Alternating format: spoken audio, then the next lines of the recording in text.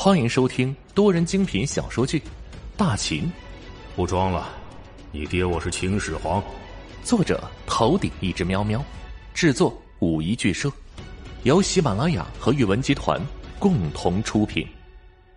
第五百六十一集，大秦太子。姬无双愕然的看着面前的一幕，有些没有回过神。秦军就这么交出咸阳了？阿浪做了什么呀？此时皇宫前，当赵浪看着自己的人手出现在城头上，老爹也在自己人保护之下的时候，他终于慢慢走向了皇宫，其他人也是随之跟上。韩王成魏王就犹豫了一下，小六及时出现在两人身边。赵浪神色复杂，一步一步走上了皇城城头，最终还是来到了老爹的身边。看着面前截然不同的老爹。赵浪仿佛是第一次见到他的时候，有些生涩的喊道：“爹。”秦始皇看着面前稚气尽去的赵浪，眼中微微泛起了一层雾气。一旁的赵高连忙提醒：“太子殿下要称父皇，皇家是有自己规矩的。”只是他话音才落，秦始皇就给了他一个多事的眼神，看了看长高了不少的赵浪。伸手拍了拍对方的肩膀，秦始皇笑着说道：“浪儿，你长大了。”赵浪此时却是心中五味杂陈。他没到咸阳之前，想过救出老爹之后，有许多话想要说。此时他一时间不知道说什么。过了一会儿，他才说道：“爹，您真是……哪怕拿下了皇宫。”直到现在，他还是有一种强烈的虚幻感。大秦始皇帝居然是我爹，我他妈是一直在造自己的反，败自己的家呀！想着自己之前那些布置，他心中当然是极为纠结。秦始皇此时笑着点头。赵浪这时候看到了老爹身后的赵叔，那赵叔他是？赵高听到这话，连忙说道。哎呦，太子殿下，老奴是大秦忠臣中车府令赵高。说完，还挤出来一个如同菊花一般的笑脸。听到这话，赵浪愣了一下，眨了眨眼睛。赵叔就是赵高，之前自己在老爹面前说对方坏话的画面，那一幕幕如同是走马灯一样浮现在自己的面前。再想一想今天他定的口号，呃，略微的有些尴尬。这小老头应该是吓坏了吧？赵浪有些不好意思的看了看左右，刚好看到了一副狗腿子模样的亥。亥这个人还是没什么问题的，应该是可以聊聊。爹，亥他的爹是谁啊？孩儿却是没有见过的。这一次轮到秦始皇脸色一红了。嗯，胡亥。过来，胡亥，赵浪看着跟着自己这么久的亥，不是，这就是那个残暴的秦二世胡亥。胡亥此时听到呼唤，连忙屁颠屁颠跑了过来，学着赵浪喊道：“爹，您叫我呀！”一出口就听见秦始皇皱眉说道：“没有礼数，罚金千两。”不是，胡亥当时就傻眼了，朝一旁的赵浪喊道。浪哥，你帮我！哎，砰的一声，胡亥话还没说完呢，被赵浪一脚踢到了一边。哎呀，舒服！这脚踢下去，赵浪觉得自己心里边气儿都顺了很多。胡亥也来了脾气，他也不是泥捏的，他也是有火气的。浪哥，你凭你你为什么打我啊？他带着几分委屈和怒气说道。他这一路辛辛苦苦的，却只落了一顿打，这谁受得了啊？赵浪却只是看了一眼胡亥，之前做了一个梦，梦里的你啊很欠揍。啊！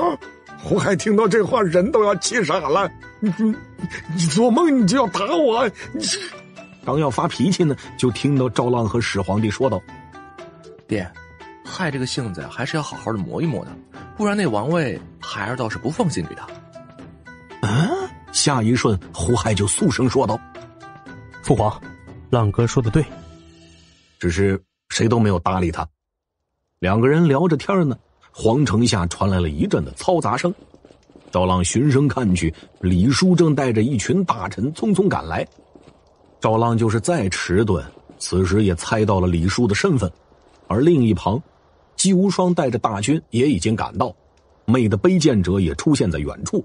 墨家游侠聚在一起护着白老，双方那是各自占据了一边，只是人人看着面前的场景都有些愕然。陛下称病回来了。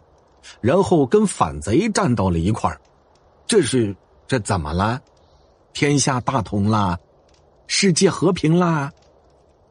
眼看着天边亮起一道晨曦，秦始皇此时看了一眼赵高，赵高拿出了之前昭告上天的文书，受命于天，既寿永昌，始皇帝诏曰：皇子嬴浪。文武俱全，天作之才，为大秦太子，称太子嬴浪。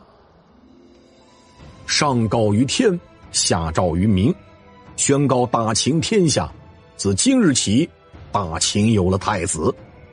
赵高的话说完之后，皇宫前一片寂静，随后是熟悉的倒地声，只是这一次声音那是连成了片。城下，所有人极为震惊的看着城头上的两人，众人心中都满是疑惑，等着归来的始皇帝说明呢。怎么这个病突然就好了呢？怎么这个反贼突然就成了皇子了呢？怎么就反贼第一次跟陛下见面就成了太子了呢？甚至有人产生了疑问：我是谁？我在哪儿？这是什么地方？只是还不等始皇帝说话呢。一旁的秦军信使就匆匆赶了过来。高句丽一动，巨兵十万，辽东告急。听到这个紧急军报，在场所有人都一片茫然。他们连刚刚的消息都还没消化完呢，高句丽根本就排不上号。城头上的秦始皇却是微微变了一下脸色。今天本来是浪儿的大好日子，他还想着好好庆祝一番呢。就这高句丽。作死啊！啊，敢挑这天找事儿！看着朝中的大臣，秦始皇忽然间心中一动：赵浪这个突然出现的太子呢，恐怕难以服众。这倒是个机会。朕有些乏了，自今日起，由太子监国。嗯，所有人都不由得看向赵浪。秦始皇带着几分笑意说道：“浪儿，如今大秦……”无兵，无粮，你要如何破敌呀？赵浪缓缓的吸了一口气，然后把手中的杀破狼高高举起，又拿出了农家、墨家、儒家的玉佩和一家的龙涎木，对着下方喊道：“兵家何在？农家何在？墨家何在？儒家何在？一家何在？昭告辽东五百里内门人，齐聚辽东，攻破敌军。”众人看着赵浪手里边那五花八门的信物，都微微张大了嘴，连一旁的秦始皇都看花眼了。不是，浪儿什么时候把墨家也拿下了？只有各家门人点头应是。赵浪此时转头对秦始皇说道：“孩儿却是还有一支军队在项氏军中。”啊！秦始皇微微一瞪：“你准备亲自前往？那咸阳怎么办呢？”等了这么久，我才摊牌，你以为这就完了吗？你们就不想知道接下来的故事吗？欢迎继续收听。欢迎收听多人精品小说剧《大秦》，不装了，你爹我是秦始皇。作者：头顶一只喵喵，制作：五一剧社，由喜马拉雅和阅文集团共同出品。第五百六十二集。老爹监国，赵浪此时露出了一个笑容。爹，你还记不记得？还是说过，如果真有那一天，我当了太子，您就是皇帝，还请爹代我监国。秦始皇不干了，赵浪的爹替上去就完了。秦始皇愣了一下，然后怅然大笑起来。哈哈哈哈哈！好，爹就帮你监国。等你回来，啊啊！城下的众人木然看着这一幕，已经是无力震惊了。赵高此时心里边就一个念头：哼，哎呀，你们父子开心就好啊。秦始皇虽然还想着在这个不正式的朝会上让赵浪多露露脸，但是国事繁多，有一些呢只能等赵浪从辽东回来之后再做安排。而且昨晚的事情还留了不少的尾巴，需要好好的收拾一番。不过呢，两人都没有提起城防的事情，也就是说，咸阳和周围地区还在赵浪实际掌控之中。爹，我就带着人先去辽东了。赵浪很快说道。虽然说现在确信了自己的老爹是秦始皇，但是不知道为什么，在他心里，辽东才是他主要基地。秦始皇点头。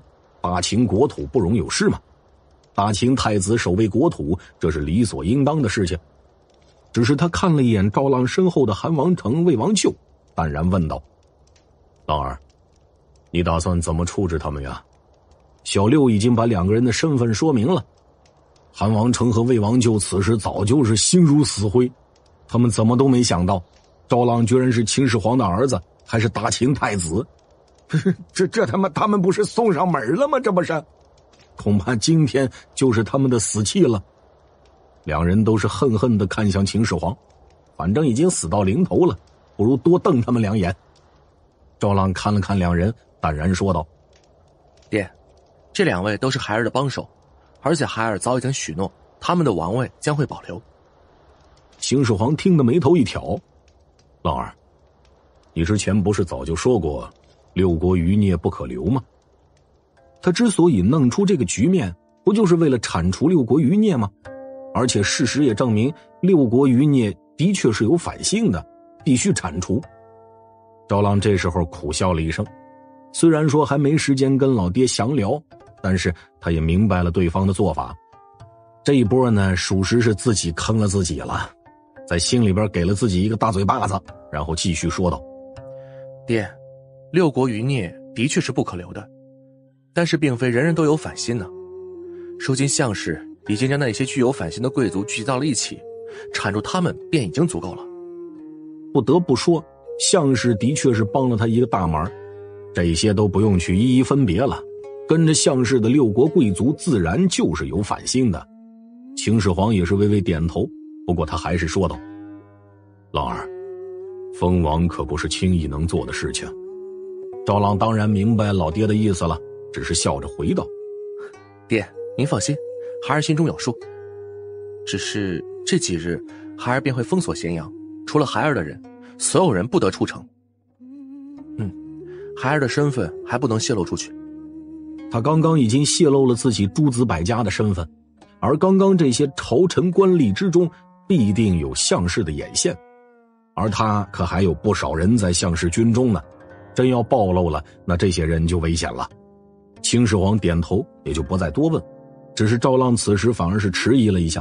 秦始皇顿时笑道：“老儿，有何事，但说无妨。”赵浪此时说道：“爹，孩儿确实知道，敌方有个将领极为勇猛，孩儿想要收为己用。当然，这个将领刚好是项氏如今大头领，这种小事儿呢，就不必多说了。”那有什么好顾忌的？连这点容人之量都没有，如何成事啊？赵郎这才点头，起身对秦始皇说道：“爹，孩儿还有最后一件事儿。说，孩儿想要向中车府令赵高借一样东西。”一旁的赵高也是连忙说道：“哎呦，太子殿下但说无妨，老奴一定答应。现在赵浪铁定会继承大统，他必须得巴结好啊！”赵浪此时笑了笑，借中车府令赵高的性命一用。说着就直接抄起了杀破狼，砰的一声，赵高听到这话，直接无神的倒在地上。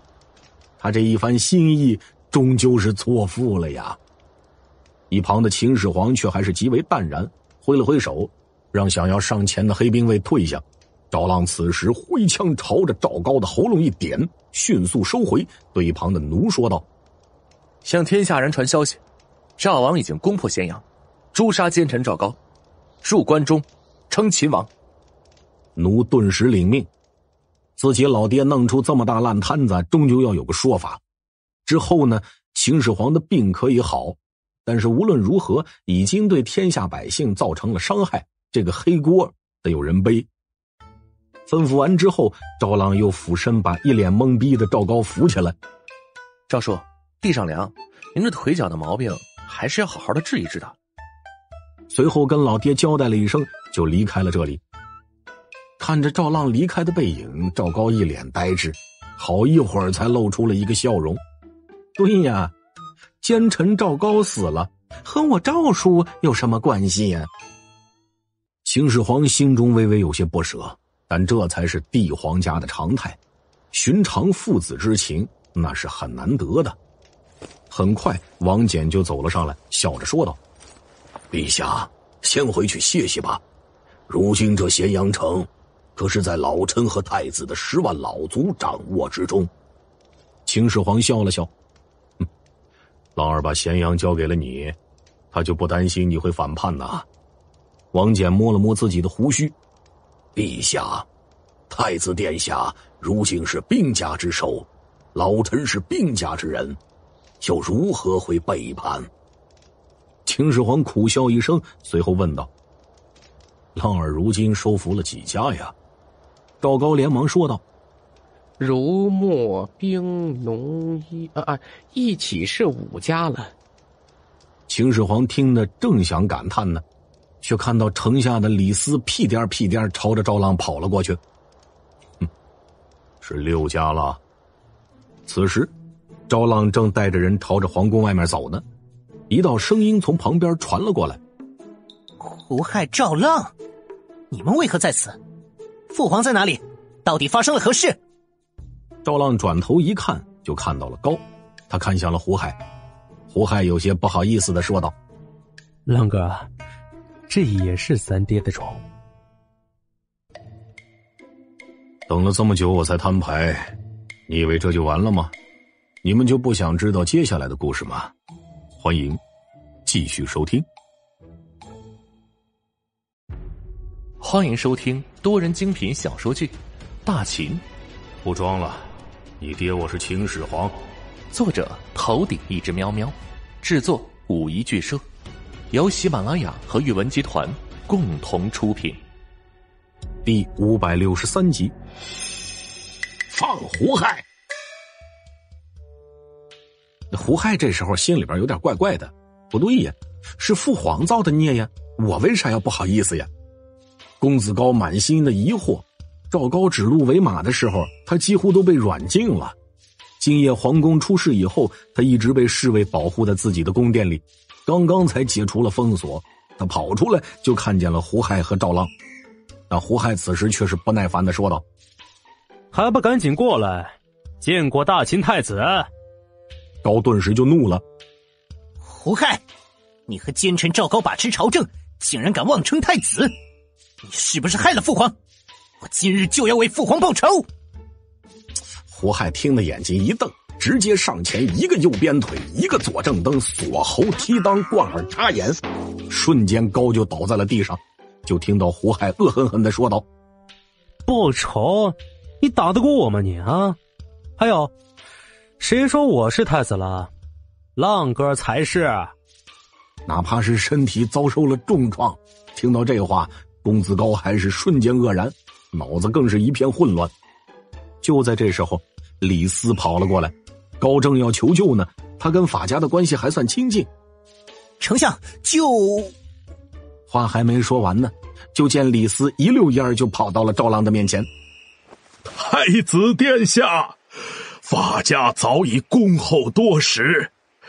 还有，我家小女，你打算何时迎娶啊？嗯，听到这话，赵浪顿时就一脸愕然。他看着面前的李四，整个人有些懵。法家的事情呢，他好理解。之前儒法辩论的时候，他就和对方说过这件事情了。现在看来，对方应该也是看中了他的身份。如今呢，他可以说是接过了诸子百家之中最有实力的几家。法家作为一个最务实的学派，向他靠拢，并不是什么稀奇的事情。只是他什么时候跟对方女儿扯上关系了？李叔，我不认识你的女儿啊。李斯脸色一肃：“太子殿下何出此言？我家小女李灵儿可是到您的庄子上提过亲了。”赵浪再次愕然。李斯看着面前的赵浪，心中是又惊又喜。惊的是赵浪如今展现出来的实力，那简直就是出人意料。说句不好听的，如果这次陛下不是对方的亲爹，咸阳能不能保住那是两说。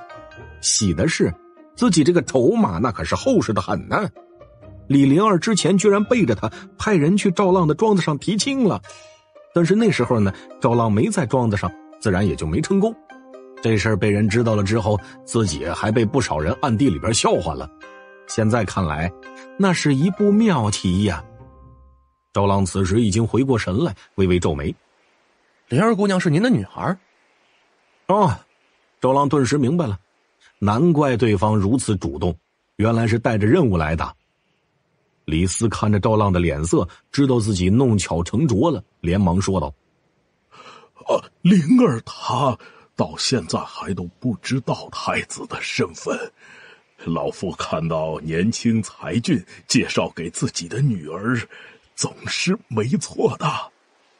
赵浪倒是没有怀疑这话，但是这种被人算计的感觉他极为不喜欢，于是冷然说道：“李叔，这些儿女之事，您就不要插手了。”李斯顿时就略微有些尴尬，好在赵浪喊他李叔，这倒说明情分还在。不过呢，他这次来的主要目的不是这个，挤出了一个笑容，说道：“哈哈，太子殿下说的是，老臣这次来确是为了法家之事。”说着就拿出了法家的信物，一根不起眼的小木棍这是从商君当年立的那一块木头上取下来的，还请太子殿下。收下，要不是因为始皇帝的关系，他早就想把法家交出去了。现在他反而要担心赵浪会不会收下法家了。他不知道赵浪什么时候搞定的墨家，现在的实力那可以说是极为雄厚。法家跟其他五家比起来，并不占优势。赵浪对法家还是有好感，不过呢，现在法家还要经过一些改造。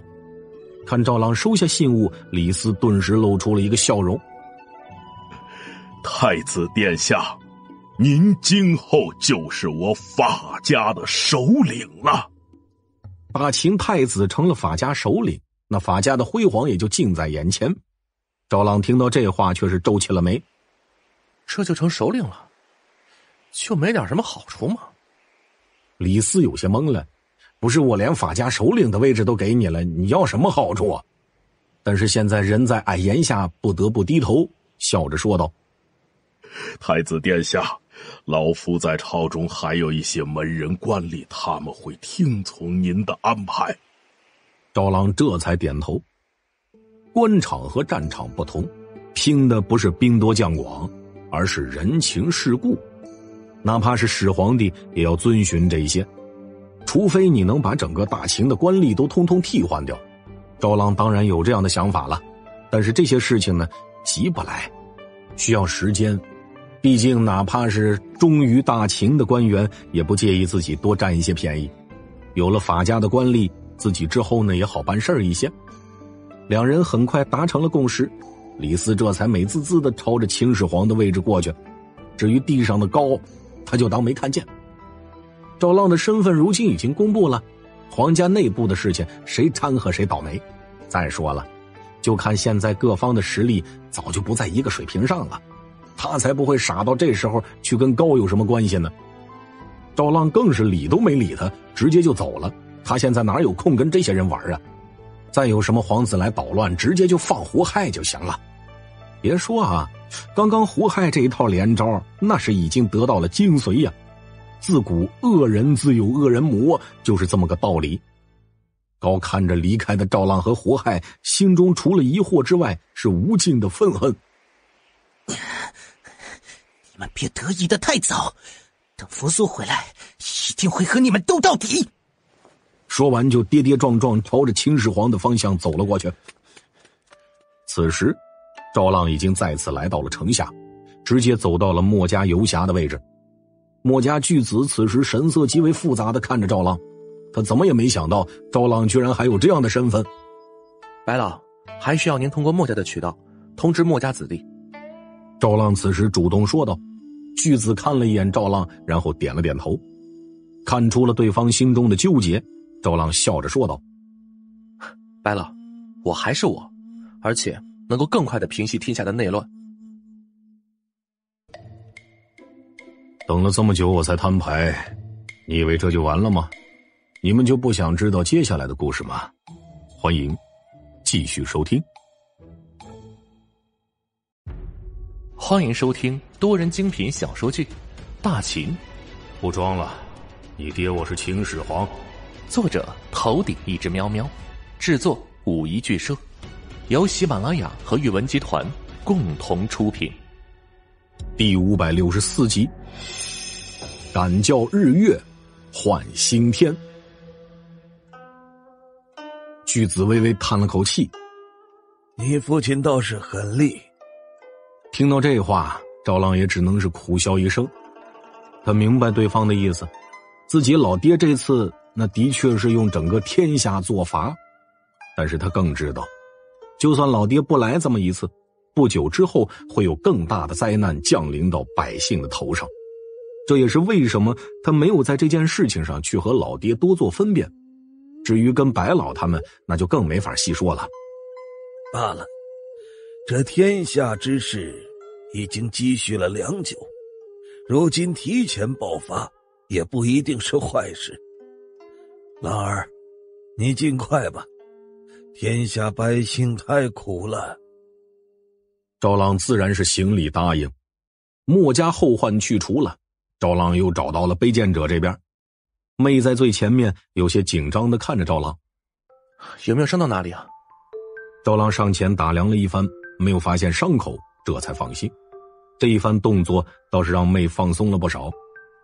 公子，太子，妹想要说话呢，却连称呼赵浪都拿不准了。还是赵浪淡然说道：“叫阿浪。”阿浪。妹这才喊了一声，然后说道：“我没事。”尽快让咸阳城安定下来。这些天配合官府，不准让其他人出咸阳。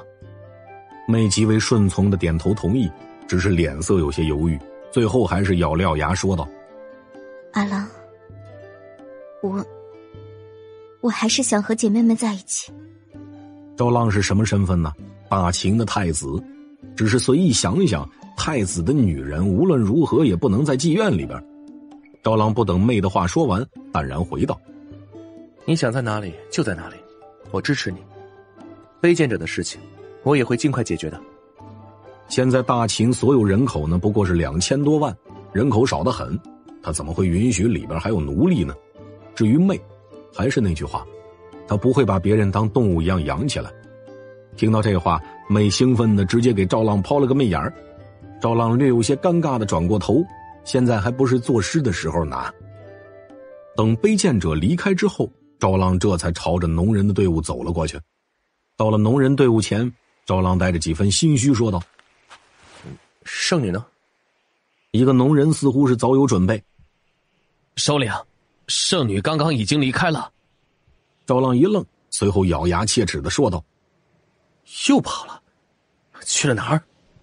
圣女说：“辽东有难，她就先回去了。”哎呀，这倒是符合小白莲的风格。他当然知道小白莲离开肯定是跟他身份有关系。从某个方面来说，自己的老爹可是小白莲的杀父仇人，自己这身份就很尴尬了。现在走了也好，他还真不知道该怎么面对小白莲呢。安呐，想到这儿，赵浪也是不由得叹了一口气。就在这时候，他身后传来了魏王舅略显冷淡的声音：“大秦太子嬴浪是在可惜燕王后人已经逃走了。”赵浪顿时转身看向了韩王成和魏王舅。此时，两人眼中都带着几分愤恨。赵浪自然能理解这事儿，搁谁身上都懵。用难听点的话说，这俩人这波属于是认贼作父了。我知道，无论我说什么，你们都是不会听的。赵浪淡然说道：“魏王就惨然一笑：“成王败寇，此次我魏国却是一败涂地。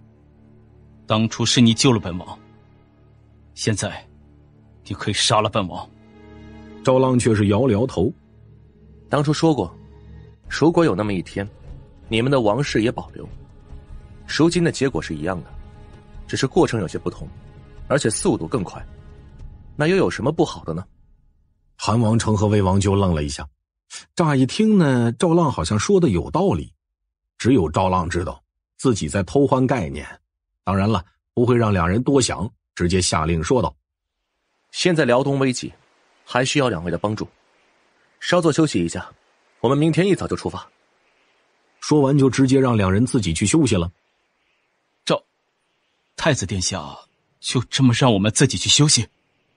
魏王就带着几分不可置信问道：“赵浪直接挥手，头也不回。我还有要事，你们明天记得来会合就是。”说完就径直离开了。看着赵浪对他们一如既往的信任，魏王救韩王成一时间神色有些难明。韩王成咬了咬牙：“魏王，你如何看？”魏王就苦笑一声：“天意弄人呐，赵。”这一路，你也看在眼里。不过，公子浪的气度，的确是天下无双。罢了，我们去休息吧。明日一早去辽东，这路途可遥远的很。韩王成也只能点头。很快，两人就带着小三、小四离开了这里。带这两个人呢是有原因的，两人本来就识字又聪慧，学什么都是一学就会，还懂规矩。这是最贴心的仆人呐。赵浪此时却是早就来到了杏堂，好不容易回了咸阳，总要看看几位老人的，而且自己的身份恐怕也要让两人惊讶一番。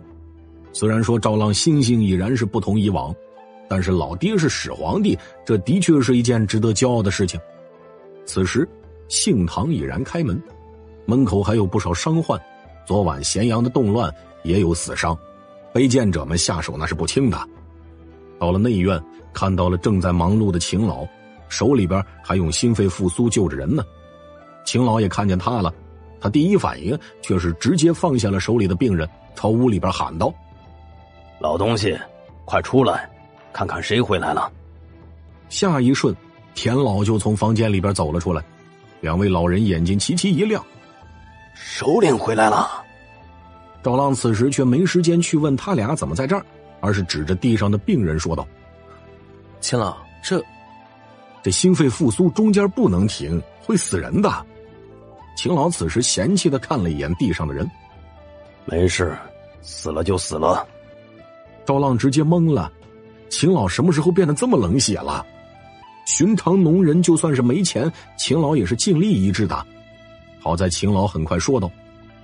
这人的府邸丢出来过好几个重伤的奴婢，老夫早就不想救了。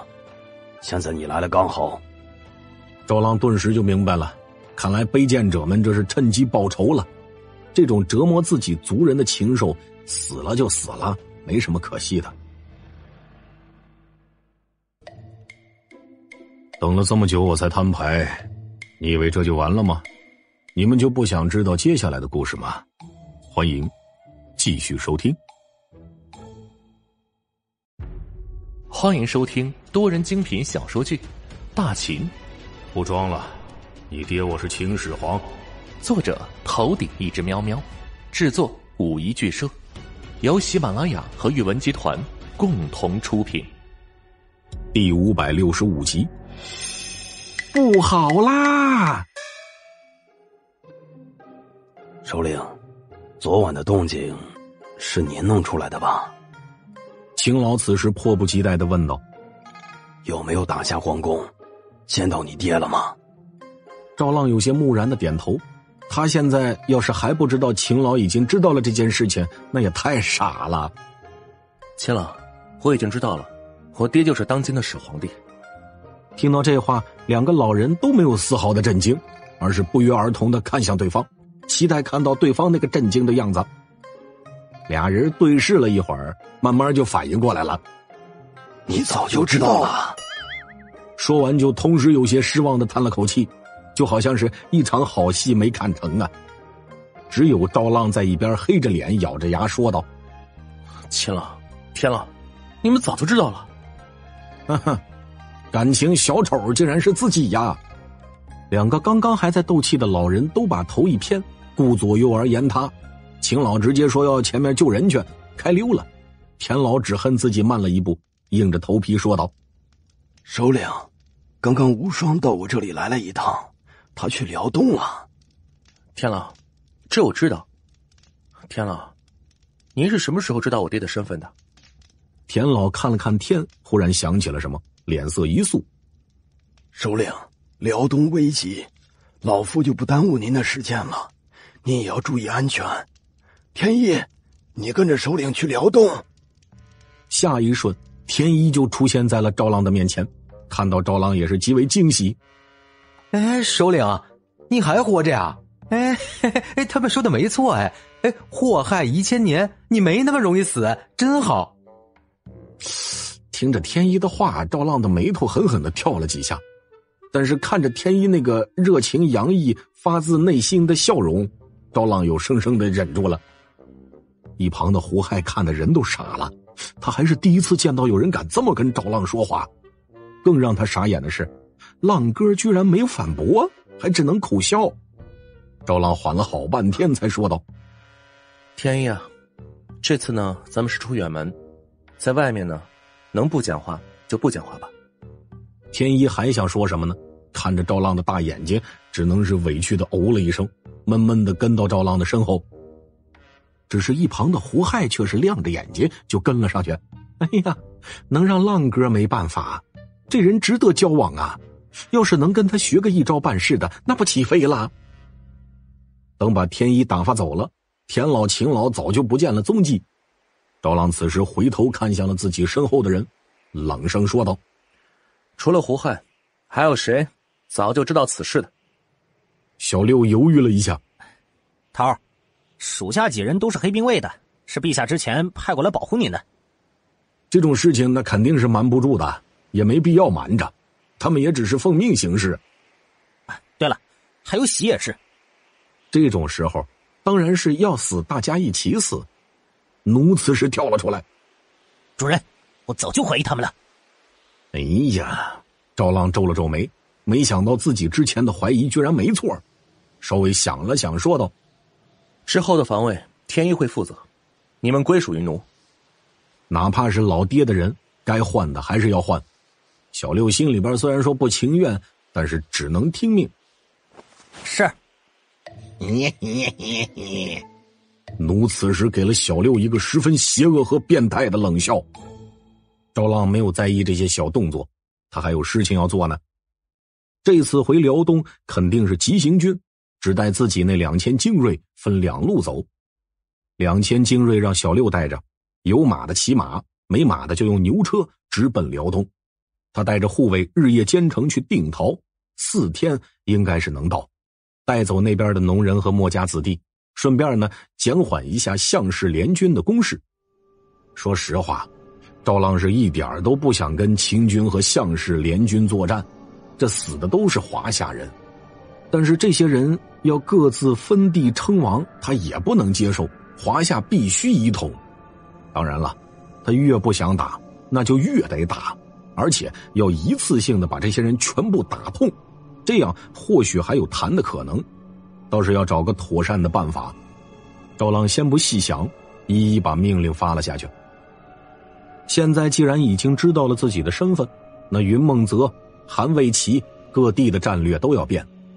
武官呢，不用围着了，人手都到魏地去吧，到项氏联军的侧后方。云梦泽的人也别闲着了，让彭越带着去跟楚国故地的贵族去打游击去，最起码要骚扰对方的粮食物资什么的运输，再跟楚王联系联系，保留王位的办法还是可以用的。只要搞定那些野心家，普通的富裕地主那是有利于当地发展的。匈奴暂时不用担心。长城大部分已经合拢了，有蒙恬带着大军守着，问题不大。现在呢，就是减缓项氏的攻势，然后救援辽东，希望时间来得及吧，要不然就算是后面把对方打了回去，辽东的心血就毁了。很快，随着一道道命令发出去，一批批快马朝着四周而去。第二天一早，跟老爹告别之后，赵浪就带着一路朝着定陶而去。几天后，定陶项氏联军大营里，此时大营内，范增正在跟项羽几个人商议之后的安排呢。开战并非儿戏，当然要慎重了。先生，马上就要春种了，是不是再等等？项庄此时说道。范增却是摇了摇头。项将军顾及农事，这是好事，但如今啊，我等屯兵二十余万，已然是箭在弦上，不得不发。如果拖延，反而给了秦军机会。只要能一举击破秦军，一切都不是问题，而且我军粮草也不是问题。项庄微微愣了一下，他说的当然不是军粮的问题了。现在项伯接手了粮草之后，你别说，那大军粮草那是相当顺畅充足。一旁的项伯也是稍微昂起了头，只是这么一来呢，百姓可就没什么人手种地了。不过也罢，都是些贱民。死了就死了，等过两年太平了，自然又会有。这倒不是他冷血，而且绝大部分贵族都是这么想的。范增此时继续说道：“如今秦军约六万余人，分布三处，互为犄角，我等应该主力攻其。”范增的话还没说完呢，一名楚军慌慌张张的跑进了正在议事的中军大帐之内。不好了，大将军！等了这么久，我才摊牌，你以为这就完了吗？你们就不想知道接下来的故事吗？欢迎继续收听。欢迎收听多人精品小说剧《大秦》，不装了，你爹我是秦始皇。作者：头顶一只喵喵，制作：五一剧社，由喜马拉雅和宇文集团共同出品。第五百六十六集。秦王狼子野心，楚军现在的大将军自然是项羽。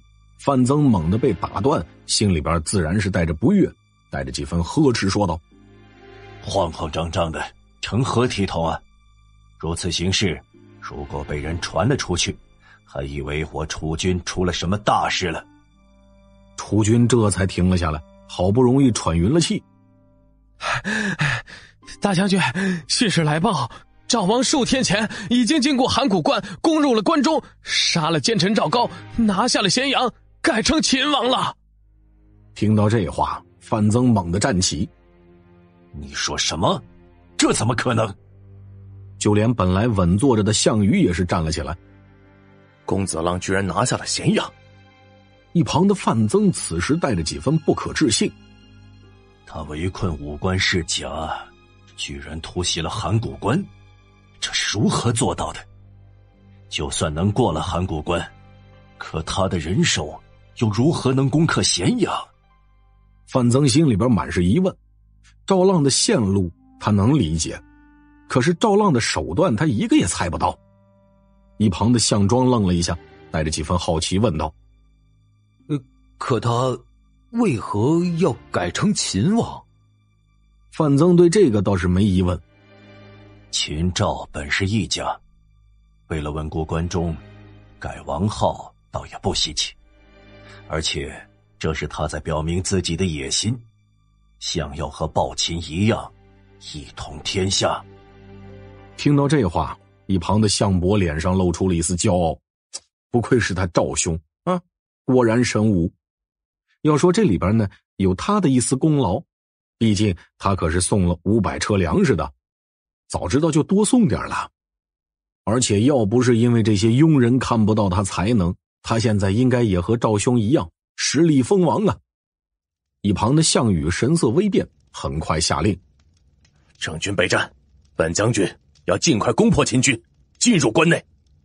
公子浪做到了不可能的事情，他也不能落后。整军备战的基调已经是定下来了。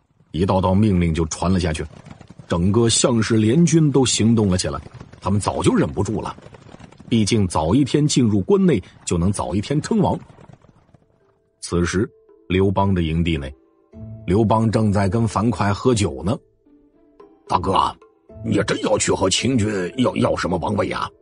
我看那秦军凶悍的很，咱们这些人不一定打得过呀。樊哙喝了一口酒，嘀嘀咕咕的说着：“要我说，还不如早些回沛县，好好的喝酒吃肉呢。”他们虽然人多，但是自己心里边清楚，这些农夫完全不能和秦军相比。刘邦此时喝了口酒，说道：“三弟，大丈夫生在世上，总要做一番功业出来。”也不枉在世上走一回。他之前呢，的确是满足于一县之地，但是现在看过了人世间最顶尖的权力，他心中的野望也已经冒出来了。更何况他家里边妻子也说了，这一次不闯出一番事业，就不要回去了。他压力是有的。樊哙听到这话，又喝了一口酒。哎，既然大哥要闯，小弟我陪着就是了。来来来。喝酒，喝酒。刘邦也不拒绝，跟对方共饮起来。樊哙呢，性子直爽，但是对他忠心那是没得说。这种人有时候就是自己的一条命。这也是为什么不管樊哙闯了什么祸，他都会给对方兜底。正当两人喝酒的时候，张良急匆匆的跑了进来。沛公，我听到。张良话没说完呢，就被营帐里边酒气呛得一阵咳嗽。刘邦连忙站起来，把张良护出去。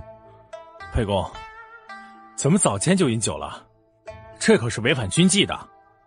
张良微微皱着眉头说道。被人指责，刘邦也不生气，而是陪笑道：“嗨，樊哙是武人，要喝一些就让他喝一些吧。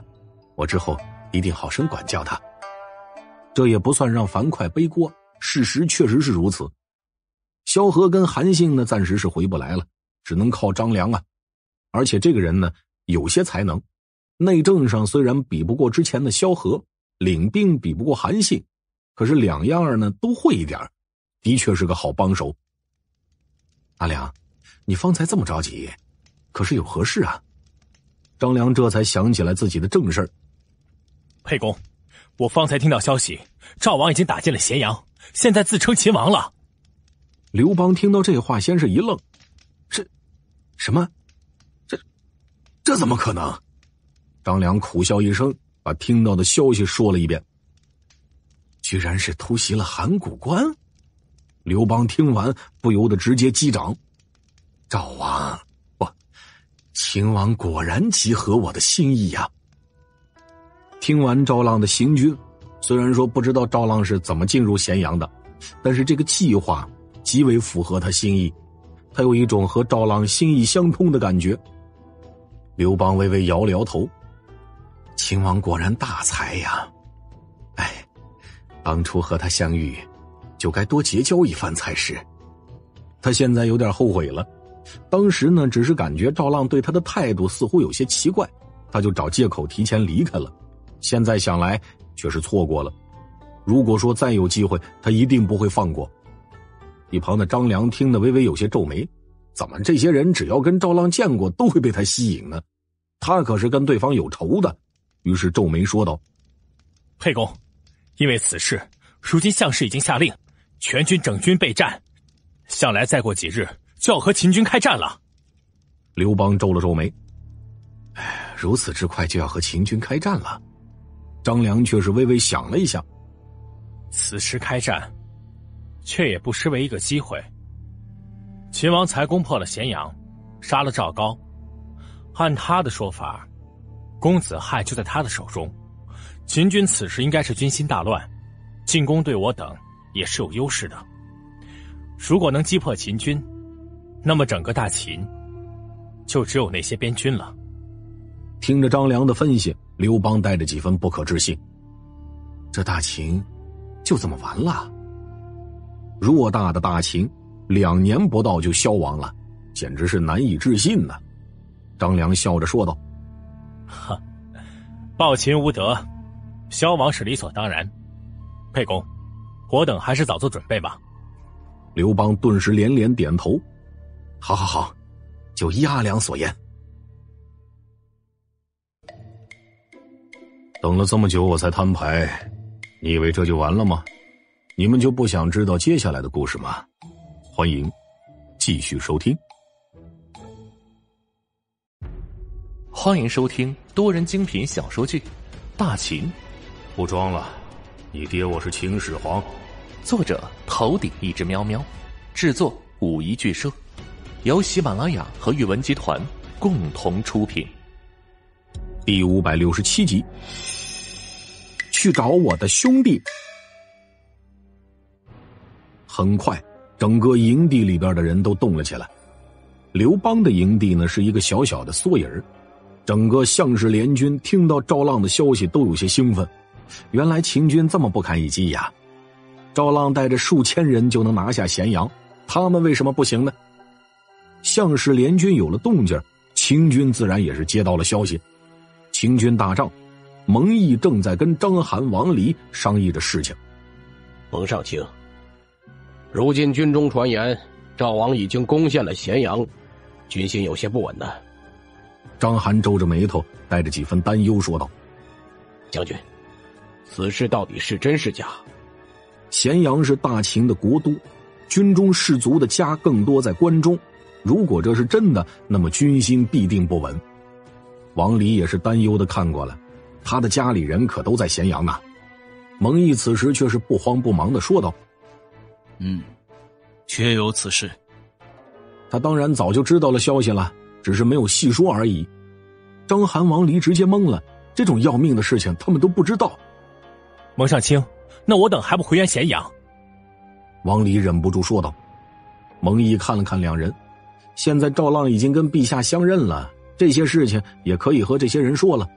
免得之后到了战场上误伤了就不好了，于是直接说道：“无妨，因为其实这赵王你们也认识。”听到这话，王离、张邯脸色一变，连连否认：“蒙上卿何出此言呢？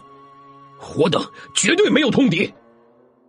现在这个时候和六国王室有关系，那就是通敌呀。”蒙毅却是神色古怪的说道：“这么说来，你们不认识赵浪？”赵浪，公子浪，张邯和王离几乎齐齐色变。王离惊愕的说道：“公子浪就是赵王，这怎么可能呢？他们当时可是有许多皇子皇女在赵浪的庄子上，自己也跟赵浪的关系极好。只是后来呢，对方去了辽东，断了联系，就连自己的爷爷也是赵浪的老师。难道说这些人全是反贼？赵浪不是帮助我等？”铲除了赵王在辽东的势力吗？他怎么会是赵王？章邯顿时就感觉整个人都不好了。六国余孽居然成了大秦的将军，他更是古怪的看了一眼蒙毅。当初蒙恬也是极为看重他的。蒙毅此时却是一副老神在在的模样，正要说什么，一名秦军就走了进来。将军，大营外有人持您的手令求见。蒙毅看着秦军送上来的手令。脸上浮现出了一丝古怪。首令无误，请他们进来吧。一旁的王离却也看到那布帛上只是写着两个字：“妓院。”这算什么手令啊？但是等秦军去传令的时候，蒙毅却是带着几分感慨说道：“整肃一下衣冠。”两人虽然说有些莫名其妙，还是照做了。很快，秦军就带着人回来了。只是看着秦军身后的人，王离、章邯几乎是勃然色变，立马拿起了武器。好在被蒙毅给挡住了。蒙上卿，你通敌叛国！张涵怒道：“因为刚刚进来的人就是赵王赵浪。”那一旁的秦军也傻眼了，不知道该帮自己的大将呢，还是帮张涵。赵浪此时笑道：“王立兄，张将军，大家都是熟人，这么久没见。”就是这么欢迎我的，王离涨红着脸。赵浪，就算我等之前是旧相识，但如今你却是六国余孽，我等势不两立。赵浪看着王离，带着几分无可奈何说道：“王离兄，你以后可不要独自领兵，不然会出大问题的。你就不想想，你爷爷武成侯王翦是我的老师，我怎么可能是六国余孽呢？要说王离知道这么多，应该是大概能猜到他的身份才是，但是却是如此的不成熟。听到这话，王离微微冷静了下来。蒙毅点点头，嗯，不错，王离。你这冲动不深思的性子不改，不能独自领兵。说完，他放开了满脸疑惑的两人，整肃了一下衣冠，然后向赵浪行礼：“臣蒙毅，见过大秦太子殿下。”蒙毅话音未落，房间里就响起了两声闷响。赵浪没有去管地上的两人，而是赶紧扶起了蒙毅。蒙上卿不必见外，蒙家兄弟在他心里边很重要。寒暄完了之后，赵浪也表明了自己的来意。蒙上卿，还请大军这几日出动，将项氏的军队引出营帐来。我有一些人马，确实要从项氏中撤出来。这些人呢，赵浪原本是想着关键的时候动用，没想到咸阳和辽东先出了事情，只能是先救急了，也不好直接撤出来，要不然肯定会引起怀疑。只能是让秦军出动，引出项氏联军。到了外面之后，带着人离开，顺便呢给项氏联军下点药，啊，起码让这些人在自己打完辽东之前不敢轻举妄动。很快，赵浪就说出了自己的计划。蒙毅听完之后，神色古怪的看着赵浪。还好老臣和太子殿下不是敌人。赵浪干过的和即将要干的事情，这也太恶毒了，这简直就是杀人诛心呢。原本的大敌相氏似乎也不是那么有威胁了。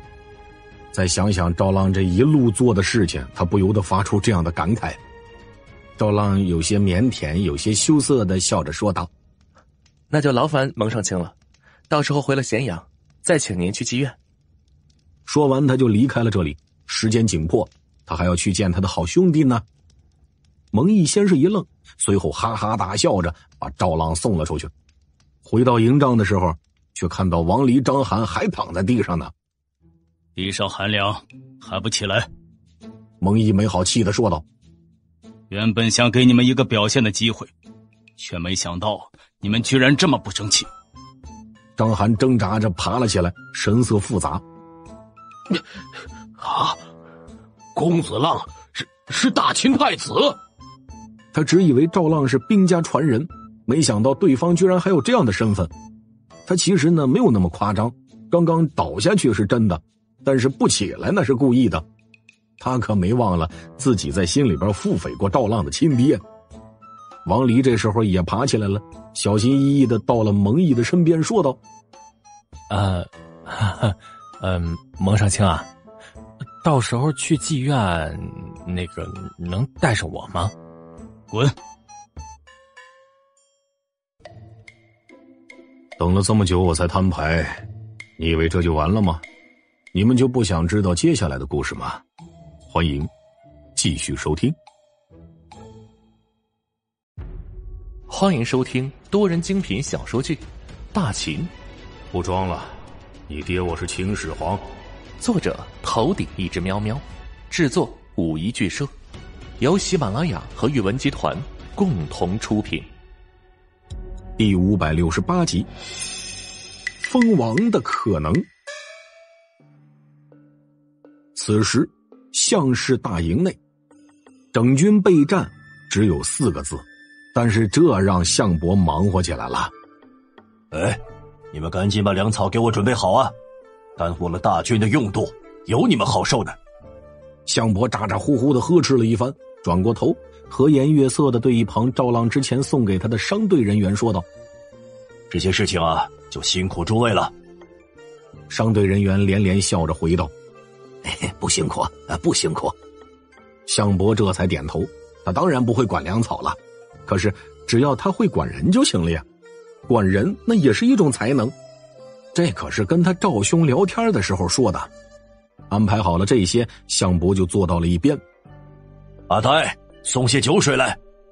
很快，一个呆呆的少年就端着酒水送了出来。正当项伯喝着的时候，一道人影出现在他面前。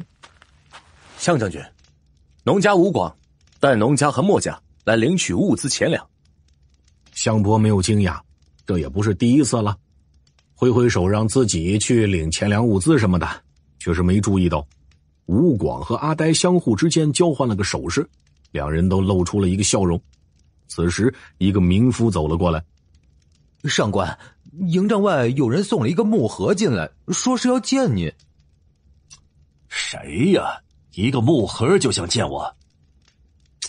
项伯不耐烦的说着，他掌管着粮草物资，还是有很多人有求于他的。不过，他身为项氏核心人物，该有的原则还是有的。说着，接过木盒，打开一看，是一个样式熟悉的袋子，袋子里边是一堆金灿灿的小金粒儿。向伯噔一下就站了起来：“人在哪里啊？快带我去！”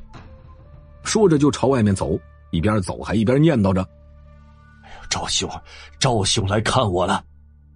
身后的阿呆连忙跟上，像是大军营帐之外。项伯一路小跑到了一处临时休息的地方，就看见赵浪正带着人站在那儿。看到他跑过来了，还上前迎了几步。项兄，慢些慢些嘛，要注意身体啊！项伯哪顾得了这些呀？直接跑到了赵浪的面前，两人是四手相握，相顾无言。项伯还没说话呢，就听赵浪极为关心的说道：“一别数月，相兄你又瘦了。”这些天看来是又受累了呀！哎呀，听到这话，向伯只觉得鼻子一酸，眼睛一热，心中激荡不已。别人从来都只关心他事情做的怎么样了，有没有高官厚爵，就连他那两个侄子现在也对他不冷不热，时不时还拿军中的职务压着他。他虽然是叔父，但是一点面子都没有。只有赵兄，见面就关心他累不累。还看出来他瘦了，可不是吗？以前肚子上三层肉呢，现在就只有两层了。他啥时候受过这样的委屈呀？一时间不由得悲从中来。赵兄啊，一别数月，甚是想念啊。赵浪安慰了好一阵，项伯才平静下来。赵兄啊，走，快随我去营中详聊，我这就让人备好酒菜。赵浪连连说道。哎，不了不了，向兄，你我虽然是兄弟，但是毕竟我和向公子他们还是有一些争斗的。这辎重粮草种地，我还是不好进去的。向伯听得眼睛一瞪：“道兄啊，这是说的哪里话呀？我等不过是兄弟之间相互谈心，这有什么妨碍？你且随我来，我看看谁敢乱嚼舌根啊！就算雨儿来了，他也不能阻止我和赵兄交谈啊！”赵浪苦笑一声：“向兄，就是因为如此，我才更不能去啊！向公子也是英豪人物，这更是向氏的大将军，那今后可以称王称霸的存在，可不能因为我坏了你们之间的情谊啊！”看到赵浪处处为自己着想，向伯心里边越发感动了，还要坚持呢。就听赵浪说道：“此事就这么定了，你我兄弟许久未见，正好畅聊。放心。”我已经带了好酒。说着，一旁的奴就朝旁边一引，项伯这才发现，原来赵浪早就备好了酒菜。他心中再次一暖，他的赵兄从来没让他失望过。两人很快就畅饮起来，喝了几杯，项伯就感慨道：“赵兄啊，才数月不见，你就已然进入了关中，还成了秦王，当真的大才啊！可惜兄弟我。”却还只是个小小的运粮官呢，向兄这是说的哪里话？你御下有方，更有识人之明，如果不是在此地辅佐相公子，早就已经成就了一番事业了。向伯听得连连点头。要说夸人，那也不是乱夸。如果赵浪夸他天资聪颖，他还有些不好意思，毕竟他大哥那才是天资聪颖之人。可要说御下有方，识人之明，嗯。对对对，这的确就是他的才能。不过他还是要谦虚一下的，连连摆手。哎，赵兄过誉了。赵浪哪会停下呀？今天就是冲着项伯来的，神色一肃，说道：“项兄，这说的哪里话呀？就说这次我进入关中，如果不是你的粮草及时，我也没有这样的功绩啊。要说我的王位，也有你的一份呢。当然了。”刀浪是不缺这些粮草的，但是说一说没什么妨碍。果然，听到这话，项伯再也绷不住了。他说什么来着？赵兄是不会忘记他功劳的。只是他带着几分担忧说道：“赵兄啊，只是你改成秦王，是不是会招惹敌人啊？”他还是很在意自己的这位兄弟的生死的。赵浪此时大笑一声：“哈哈，不瞒相兄说，我就是为了显示自己的心意，明明白白的告诉世人，我的目标就是这天下。相兄，男儿活一世，就该封王封侯啊！你放心，等有朝一日，我一定能够一统这天下。”这种掏心窝子的话，项伯听了都感动，也感慨。这种事情，赵浪毫不遮掩的和他说，那是真心对他呀。而对方的话也让他心中感慨，这才是男儿大气魄呀。他也是男儿，谁没个封王侯的念想啊？只是在项氏军中，他没这个机会了。就算是他的侄子项羽称王了，恐怕到时候也不会给他封侯。不过看赵浪这个慷慨激昂的样子，他心中一动。如果赵浪真有那么一天，对方又知道他的才华，那么他有没有那么一丝封王的可能呢？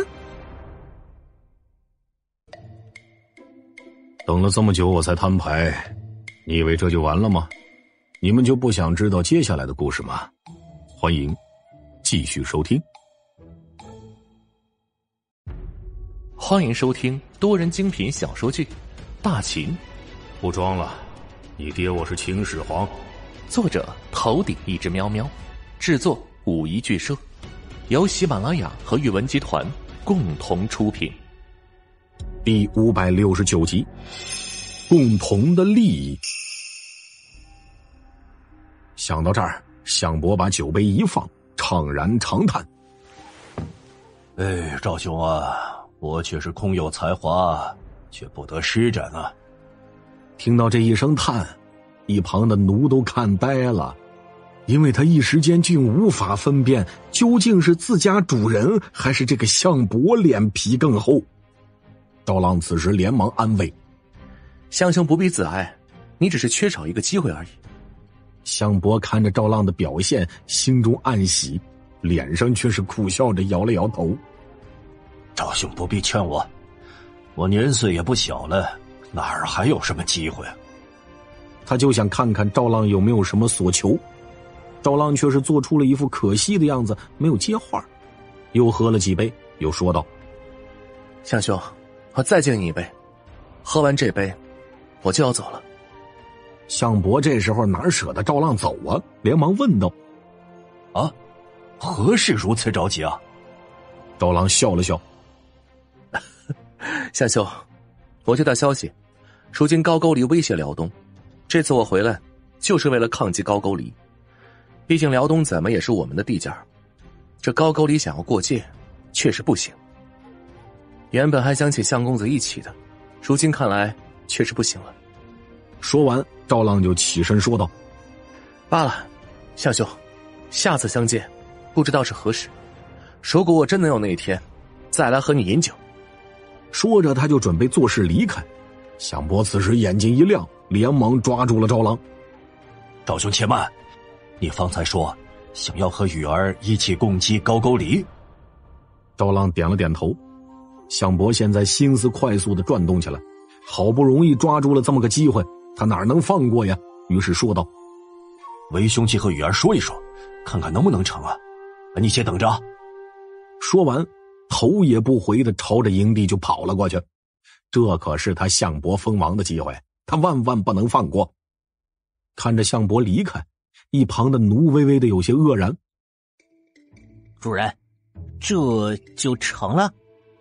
他怎么都没想到，自家主人居然能让项氏的核心成员去为自己办事儿，就这种手段，他简直拍马都赶不上。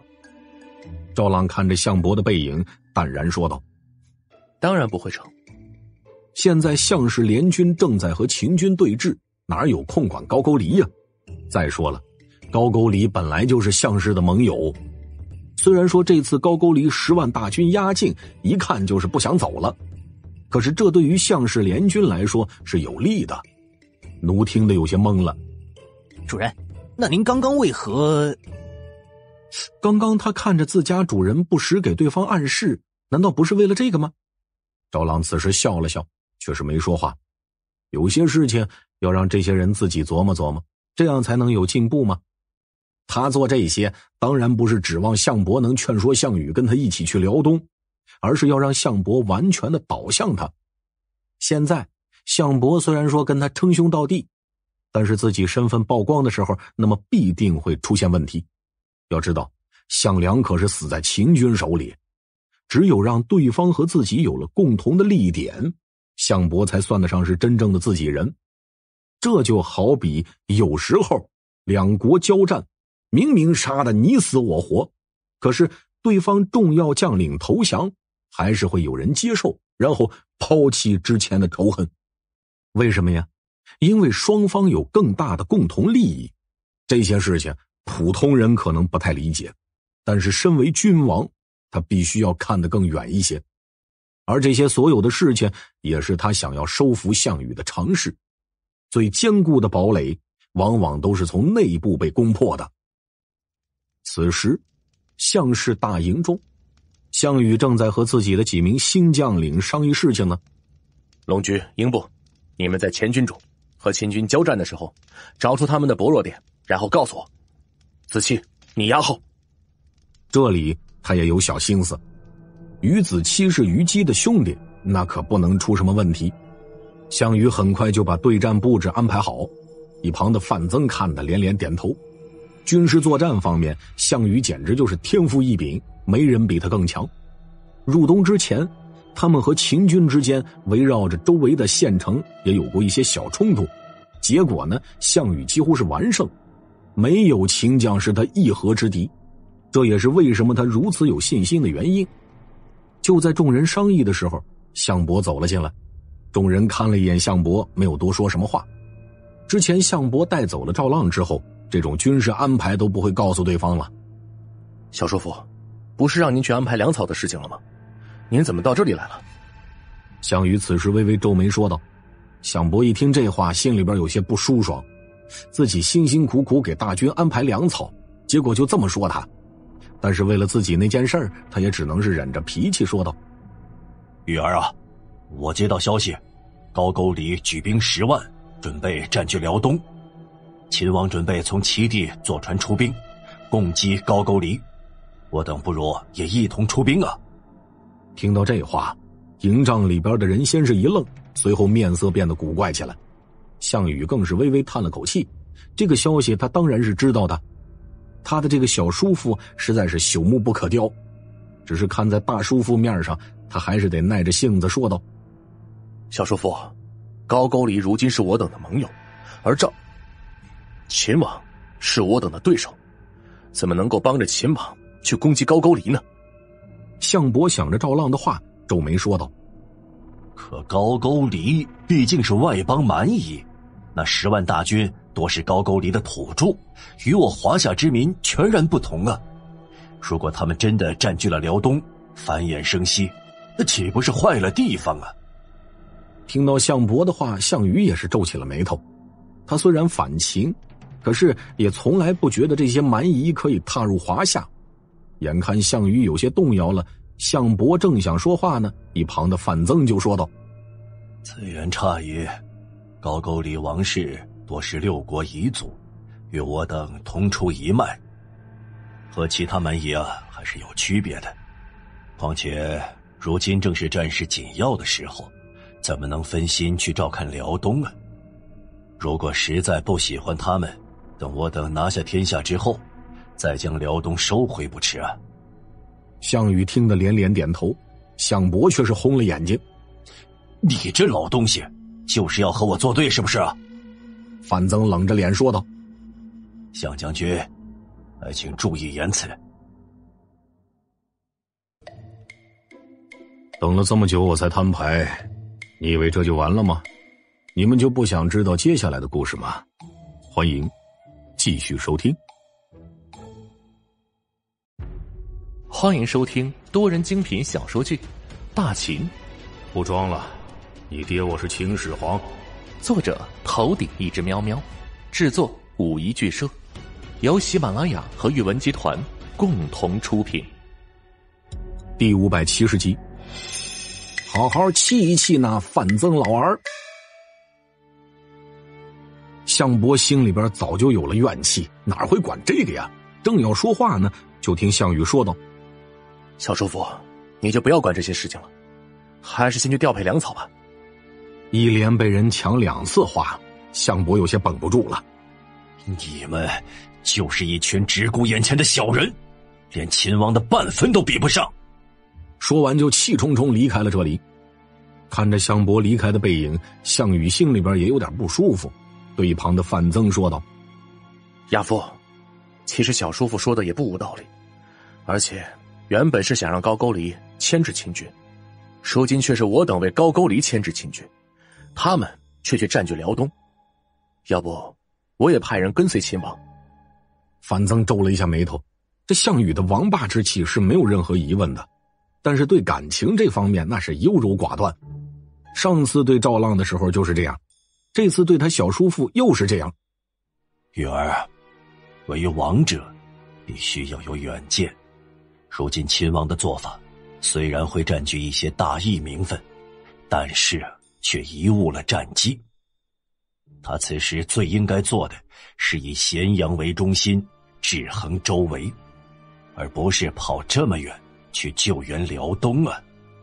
范增很快给项羽分析了一番利弊，项羽心里边觉得这事儿吧，不能单纯的用利弊来看，但是呢，也只能答应。范增此时继续说道：“玉儿，眼下看。”项伯恐怕还是和秦王有私下的往来啊！这粮草的事情，要不要换一个人？粮草那是关系到大军生死的大事。项羽此时回道：“小叔父虽然是和对方有来往，却也是知道轻重的，断不会背叛项氏。”项羽也还是记着自己大叔父的话呢。这些关键的位置，还是只有自己的族人最靠得住。见项羽态度坚决，范增也只能作罢。很快，众人就开始继续商议。此时，项伯已经怒气冲冲的朝外面走了过去，路上有不长眼挡道的，更是抬手就打。一路到了赵浪的附近，看到项伯怒气冲冲的样子，奴此时担忧的说道：“主人，这事恐怕是砸了。”赵浪这时候反倒是露出了一个笑容：“这事情。”确实成了，奴顿时愕然，然后就看见赵浪迎了上去。赵兄啊，那范增老儿简直就是欺人太甚，玉儿也不帮我说话，我是一刻也不想待在这里了。项伯一看到赵浪就哭诉，赵浪又是好一阵安慰。项伯此时忽然间心中一动，带着几分希冀说道：“赵兄啊，要不我跟你走？你放心，我安排粮草还是没有任何问题的。”保证给你省下来起码两成的粮草。周浪听得心头一震：“你大爷的！他要是真带着项伯走了，那属于纯纯搬起石头砸自己脚啊！”项伯粮草的账目他清楚的很。当然了，这时候千万不能拒绝。于是很快说道：“项兄此言当真？我求之不得呀！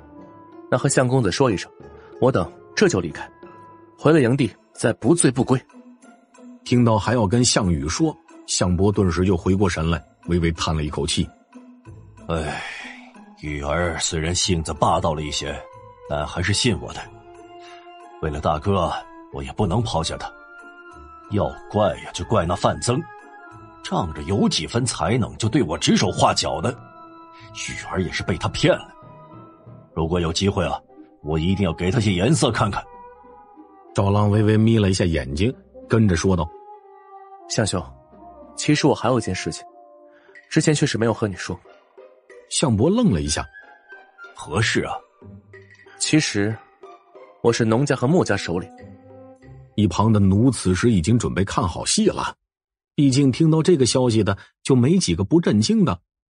但是这时候，项伯却只是淡然的哦了一声，这个反应把赵浪都惊了一下。看到赵浪的样子。项伯这才反应过来，赵兄，这是件大事儿。赵浪带着几分小心问道：“相兄可知道诸子百家？”他这还是第一次遇见这种反应啊！项伯点了点头：“当然知道呀，这农家和墨家不就是些农人和匠人吗？不久前那范增老儿才各自招募了一批，可是花了不少钱粮。”说到这儿，向伯忽然间眼睛一睁，猛地站了起来：“呃，赵兄啊，原来那些都是你的人呐！”哈哈哈！我就说那老儿斗不过你啊！我现在就去和他说，我倒要看看他的表情。说着，他就要往回走，好在赵浪把他拉住了。项兄，此事如今还是不能说，我找个机会把人带走，去辽东抗击高句丽。向伯此时拍着胸脯说道：“赵兄，你只管放心，到时候啊，粮草物资我一定给他们准备齐全。”你到时候啊，好好气气那范增老儿，为我出出气。听到这话，赵浪都愣了一下。有一说一呀，他之前虽然说做了那么多铺垫，但是没想到效果会这么好啊。他还准备了好多说辞呢，现在看来那都用不上了。向兄放心，我一定给你出气。两人就此约定好，然后才分别。项伯一路回到了营地里。刚好遇到带着物资准备离开的吴广，直接抓住对方说道：“哎，再多带点人过来，多拿些物资过去。”嗯，吴广听的人一懵，还不知道怎么回事呢，就听到项伯带着几分骄傲说道：“都是自己人呢，你还愣着做什么？”吴广这才蒙头蒙脑带着人离开。第二天一大早，向氏大营还是一如既往的忙碌着，突然。随着一个个探子跑进大营，整个营地里边都动了起来，因为秦军出动了。中军大帐内，项羽对自己部下的将领们下令：“秦军现在主动出击，倒也好。传令下去，准备应战。”此时，两军之间的一处高地上，赵浪正带着人在这儿等着呢，看着下方数十万人如同蚂蚁一样的排兵布阵。感觉到也算是奇异。呃，秦王，我们真的要去这两军之间？一旁的韩王成带着几分紧张说道：“他和魏王舅呢，都是一路跟着赵浪的。”赵浪笑着点点头：“如果不这样，我的人想要全身而退，却是不可能了。对了，奴，我要的东西准备好了吗？”等了这么久，我才摊牌，你以为这就完了吗？你们就不想知道接下来的故事吗？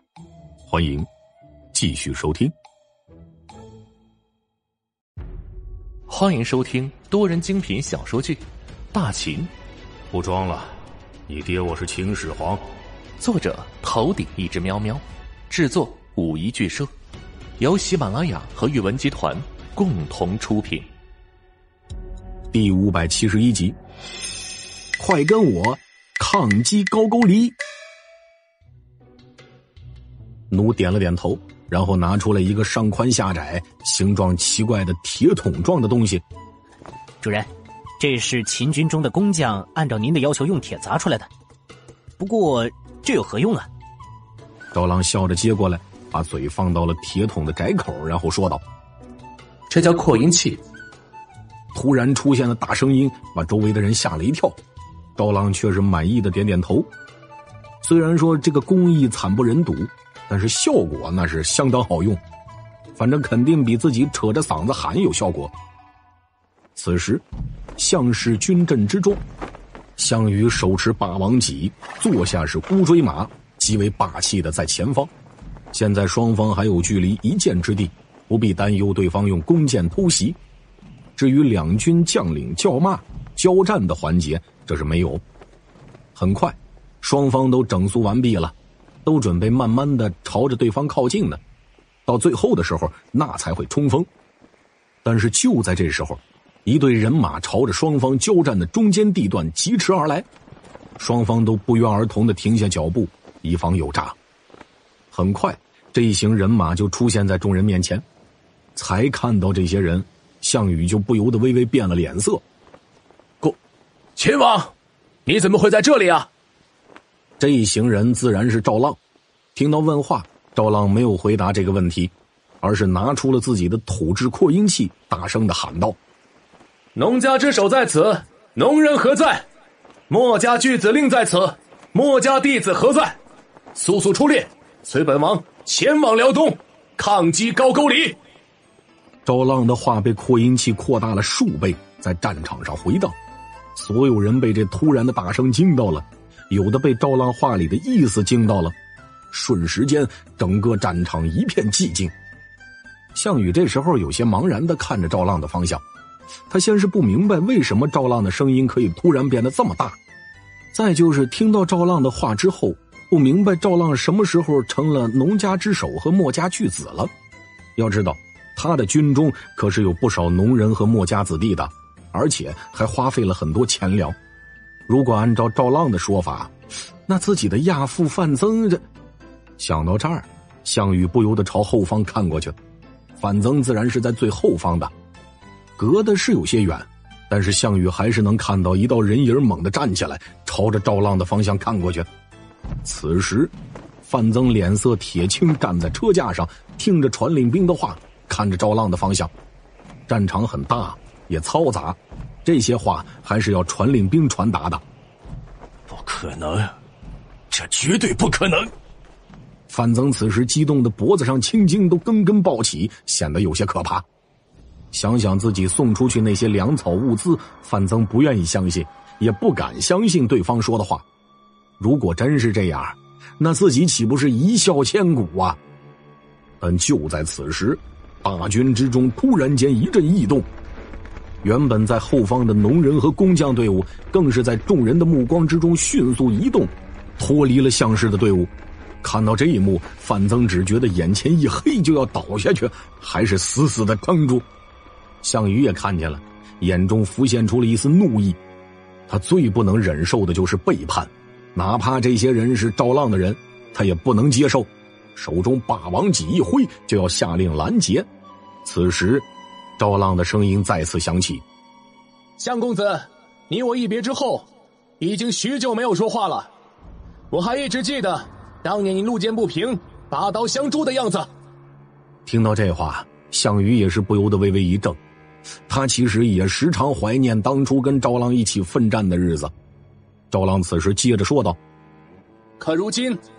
高句丽蛮夷十万乱军即将进入辽东，辽东百姓即将遭逢大难。你要争夺天下，我能理解。可我要带兵前往，还希望你不要阻拦。这赵浪这一番话说的情真意切，甚至让项羽心中微微升起了一丝愧疚。他之前就不太想高句丽完全占据辽东，倒不是对那些百姓有什么怜悯。而是高句丽的做法侵犯到他的威严了，其他的贵族恐怕也都是这么想的，哪怕就是六国之间也是相互看不起的，更别提高句丽了。现在赵浪的做法让他有些羞愧，赵浪都已经攻占咸阳了，现在去辽东要抗击高句丽，两个人的境界差距一下子就显现出来了。不过呢，他倒也不奇怪，当时跟赵浪相处的时候就看得出来。赵浪对这些百姓那是极好的，而此时听到传话的范增已经是脸色发黑了。赵浪的无耻他是见识过了，现在他必须阻止对方。送老夫去玉儿那里。现在就是斩杀赵浪的绝好时机呀！不管赵浪说的是真是假，绝不能让对方离开这里。但就在这时候，一道人影却不知道从哪儿钻出来，嗖一下拦住了他的去路。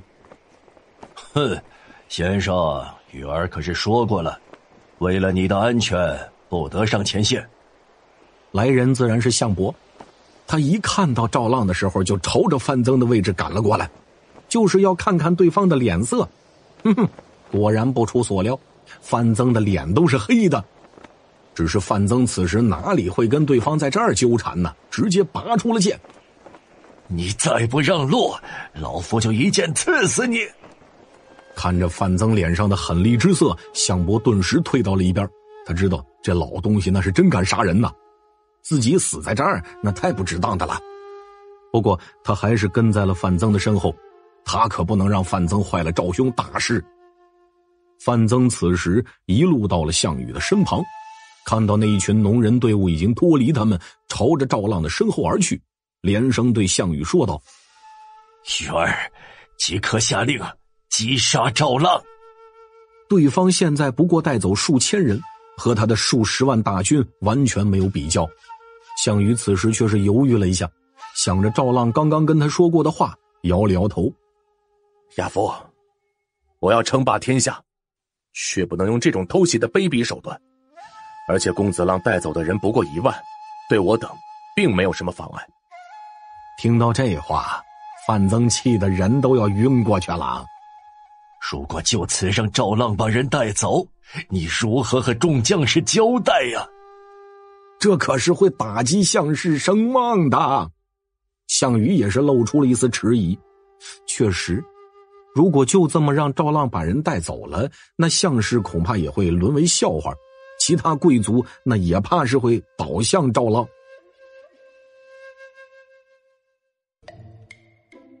等了这么久，我才摊牌，你以为这就完了吗？你们就不想知道接下来的故事吗？欢迎继续收听。欢迎收听多人精品小说剧《大秦》。不装了，你爹我是秦始皇。作者头顶一只喵喵，制作五一剧社，由喜马拉雅和宇文集团共同出品。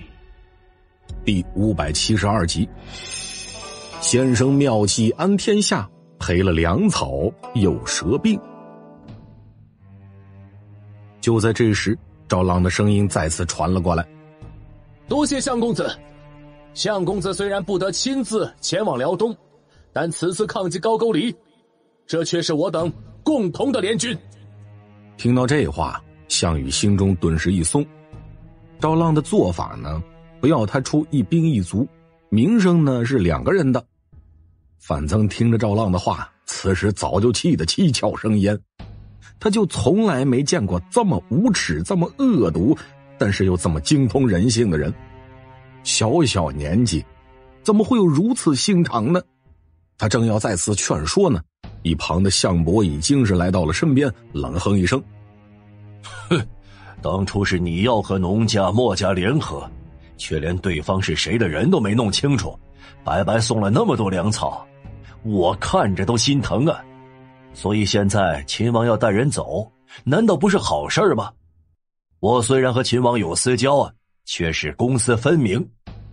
看着项羽阴晴不定的样子，项伯想起来赵浪昨天跟他谈笑时说的话：“倒是先生妙计安天下，赔了粮草又折兵啊！”听到这话，周围都是一片的寂静。不知道是谁先笑了一声，仿佛是个信号。下一瞬，周围好多人“咵”的一下爆发出了一阵大笑。啊！范增的脸色先是一白，然后就变成了红色。和赵浪为了农家墨家交锋的场景不断在他面前闪过，最终，这些画面在他心中交合一起。形成了赵浪那张略带嘲讽笑容的脸。哎呀！噗的一下，狗贼呀，狗贼！你，范增一口鲜血喷了出来，整个人软软的倒了下去，把一边项伯都看呆了。他没想过，原来人真的可以被气得吐血。不过，他心里边倒是舒畅了。项伯这时候还想嘲讽两句，看看能不能直接把这老头给他气死了。可惜，项羽此时已经是让人收兵，带着对方回去了。今天出了这档子事儿，那仗肯定是没法打了。只是他有些好奇，他们收兵，怎么秦军也跟着收兵了？当然了，他是看不出为什么。此时，对面的秦军中，看着缓缓退去的楚军。一旁的王离有些不可置信：“蒙上卿，楚军怎么就这么退了呢？这居然不去追杀太子！”他话还没说完呢，就被蒙毅给瞪了回去，当众让敌军追杀大秦太子，你这话也能说得出口啊？王离赶紧闭嘴了。一旁的张涵却也是感慨道：“穆长青，太子这次简直就是不不可思议呀！”张涵明白王离的意思，要是换成他，无论如何也不会让太子离开的。不是这么好的机会，那肯定是要弄死对方啊！但是呢，项羽这边居然就这么放太子带人走了。蒙毅此时淡然说道：“你们呐，却只是想到了第一层。且问你等，如果楚军追击太子，会有何等结果？我们刚好和太子夹击对方。而且，如果你是对方的主将。”你能肯定太子只安插了这些人手吗？倘若还有呢，这仗你打不打？听到这话，两人顿时一阵愕然。蒙毅这才带着几分感叹说道：“太子这番的布置，可退可进，已然得了兵法的精要啊！你们以后可要多学着点太子还如此年轻，总有用到你们的时候。”两人顿时心悦诚服的应是，给两人上了一课之后，蒙毅这才调转马头，朝着营地的方向走去。此时，项羽已经是顾着范增，一路回到了营帐之中，却也没有太过在意这些。给范增找来医师之后，就招来了手下的人，去给秦王派一名使者去。刚刚在战场上极为匆忙，他没有和赵浪说太多的话，很快。一名使者就朝着赵浪的方向而去。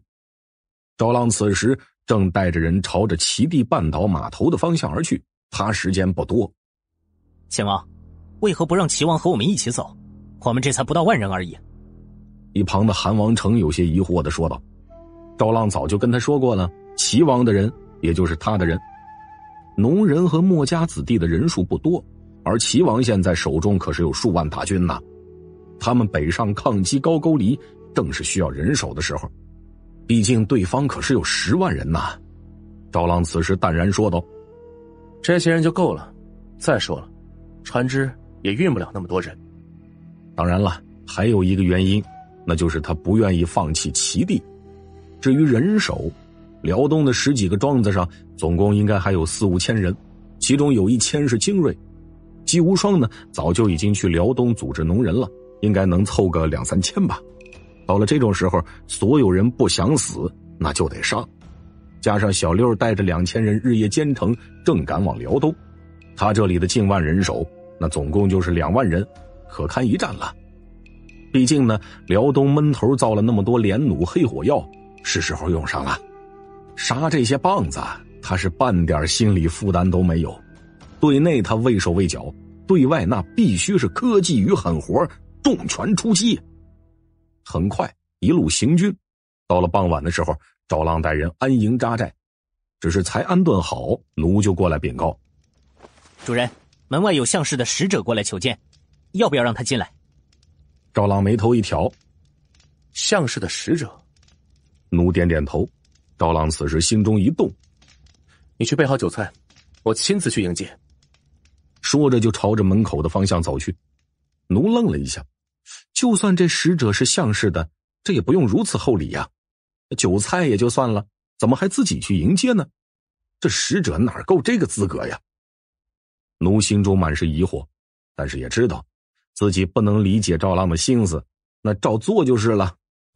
此时，赵浪已经到了门口，看到赵浪，使者也是吃了一惊。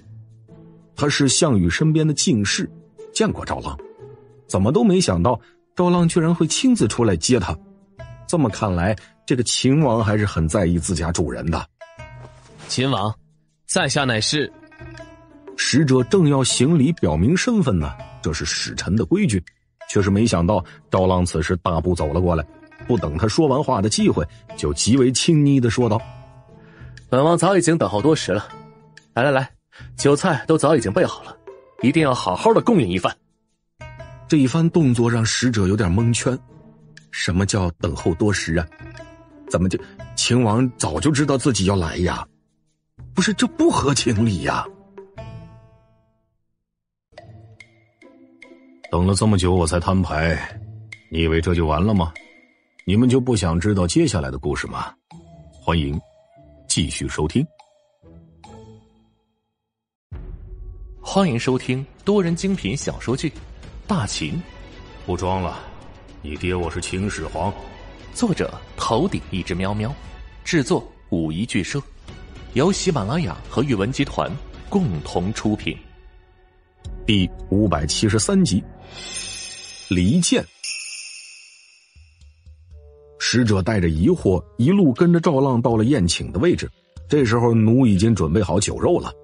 在进去的时候，赵浪特意落后了几步，低声快速的和奴说道：“一刻钟之后进来叫我，就说有人求见。”奴点了点头，赵浪这才跟着使者进入了营帐，极为热情的招待对方。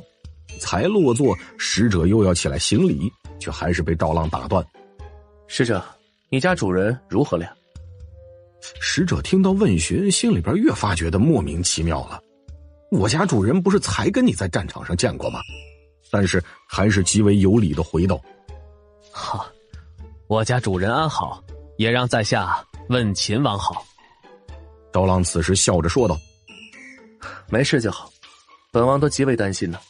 哎，哎，不得不说呀，那一口血还是喷的极为逼真的，本王都差点信了。”使者很迷茫：“秦王，什么突？”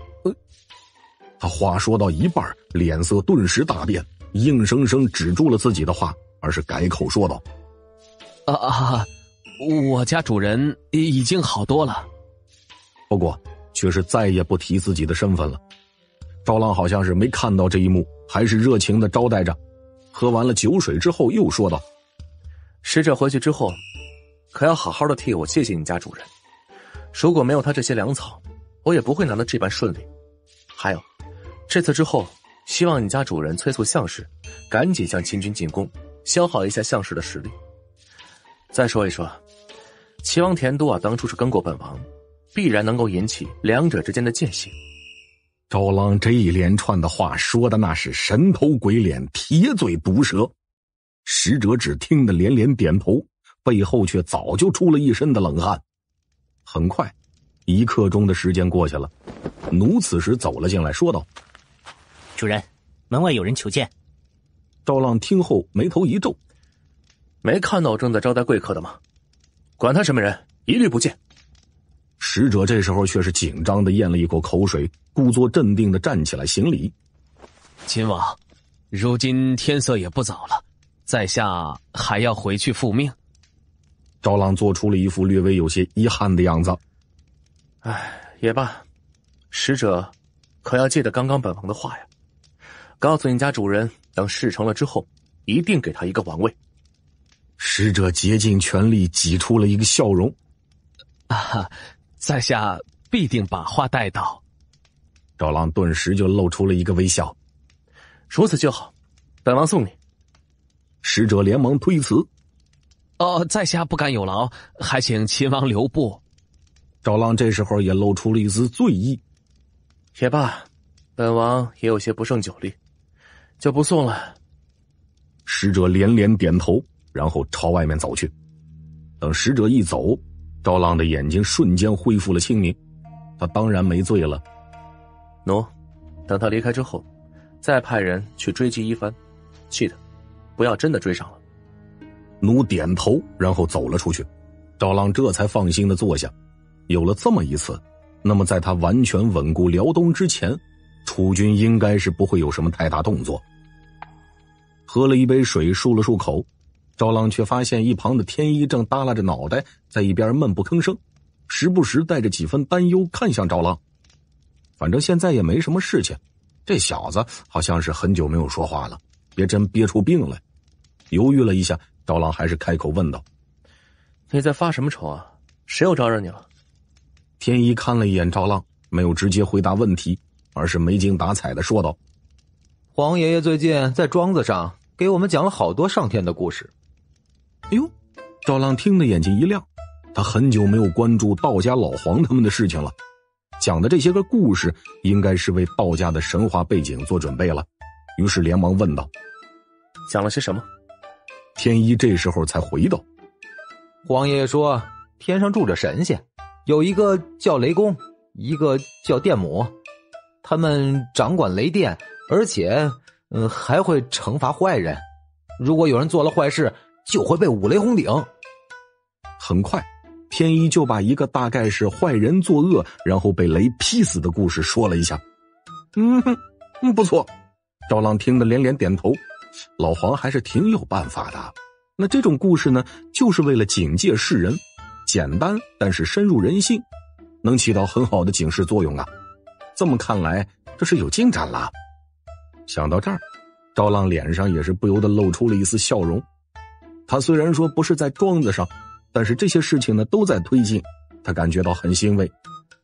只是一看天一，怎么还是那副愁眉苦脸的样子，不吉利。赵郎笑着说道：“怎么，你怕了？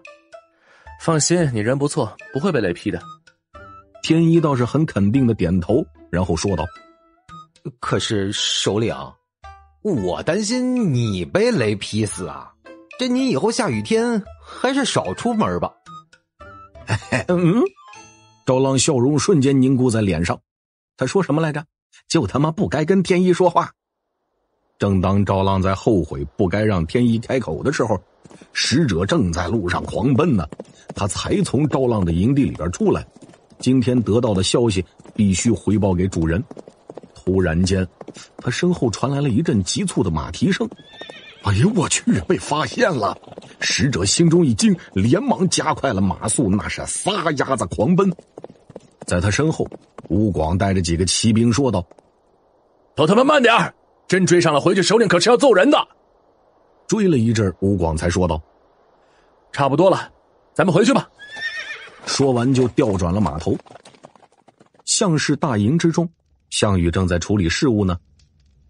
嗯，既然已经调动了起来了，那么再过几天，我们就主动进攻秦军。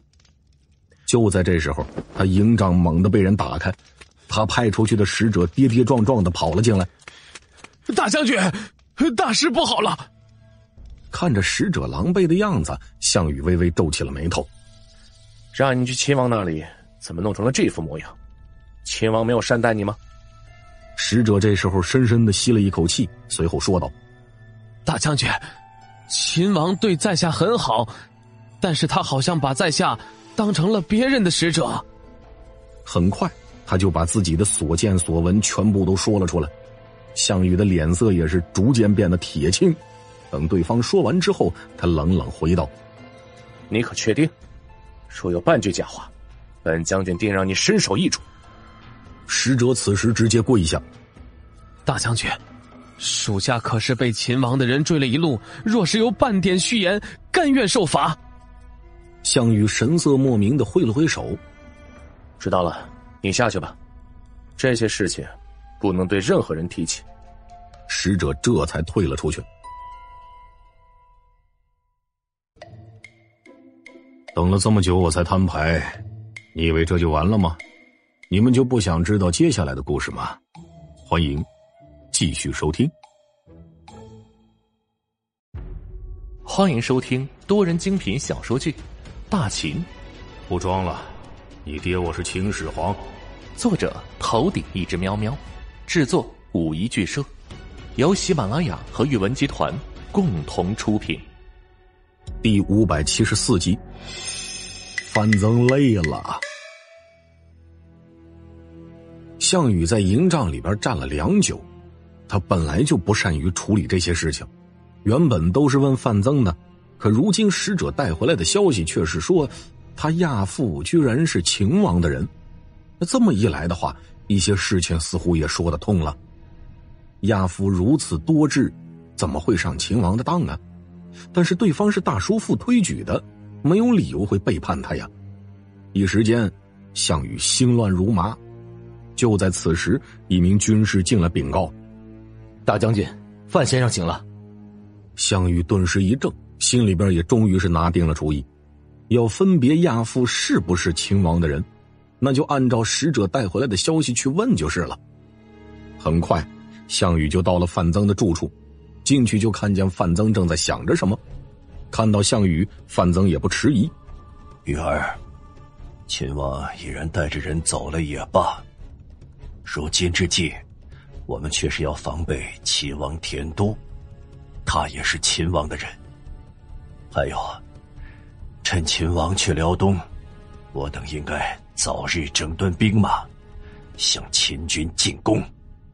范增一条一条说着自己的应对，他醒来之后就开始准备反击赵浪了。真正的智者从来不自怨自艾，犯了错改过来就是了。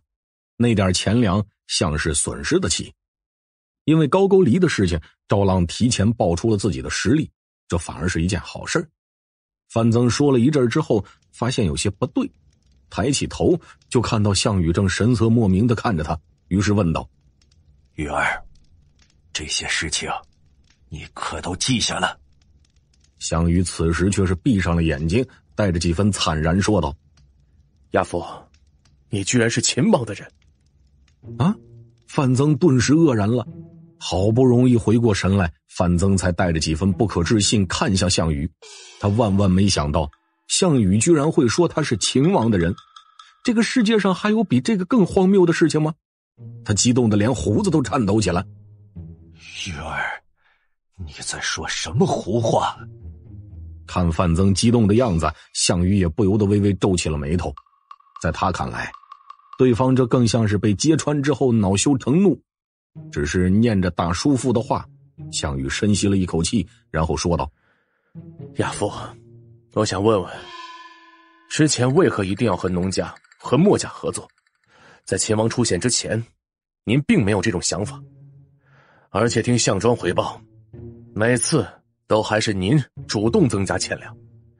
第一次和农家商讨，秦王不过是给了三倍，您却主动给了五倍。第二次和墨家商讨，秦王才说了几句，你却直接六倍。亚父，整整十一倍的粮草物资啊！没有这些东西，秦王根本就无力进攻咸阳，更不用说是占据关中了。项羽每说一句。范增的脸色就白了一分，虽然他心中极为愤怒，但是他知道现在不是愤怒的时候。如今看来，项羽必定是中了计了，忍气吞声说道：“玉儿，这开价却是谈判的技巧，能……”范增原本想说，这能快速击破对手抵抗，从而减少损失，因为一层一层的加码，反而容易陷入泥沼之中。只是他话还没说完呢，项羽就冷冷的回道：“能给更多的粮草物资给秦王吗？”听到这话，范增顿时就红了眼睛，心中那点理智被项羽的话挤兑的一点不剩。老夫不知道你从何处听到了什么消息，老夫若是真想要送物资给秦王，项氏哪儿还有一分钱粮啊？你中了秦王的离间计！还不自知，何其短视也！项羽被骂得脸色赤红，说过不是串通好的，那秦王为何会知道你的这些计划？他本来就不是能藏住事情的，现在干脆一股脑把使者说过的话全部一一说出来。范增听得脸上浮现出了一丝不可置信，他没想到赵浪居然能够预判他的应对之法。但是他心中也升起了一股极为荒谬的感觉，这居然是他的敌人最为了解他。见范增不说话，项羽冷声说道：“亚父为何不说话了？”范增此时深吸了一口气：“ 秦王狡诈，他这是猜到了老夫的应对之法，只是通过使者来施展这反间之计呀。”你想想，这些才是正确的应对呀！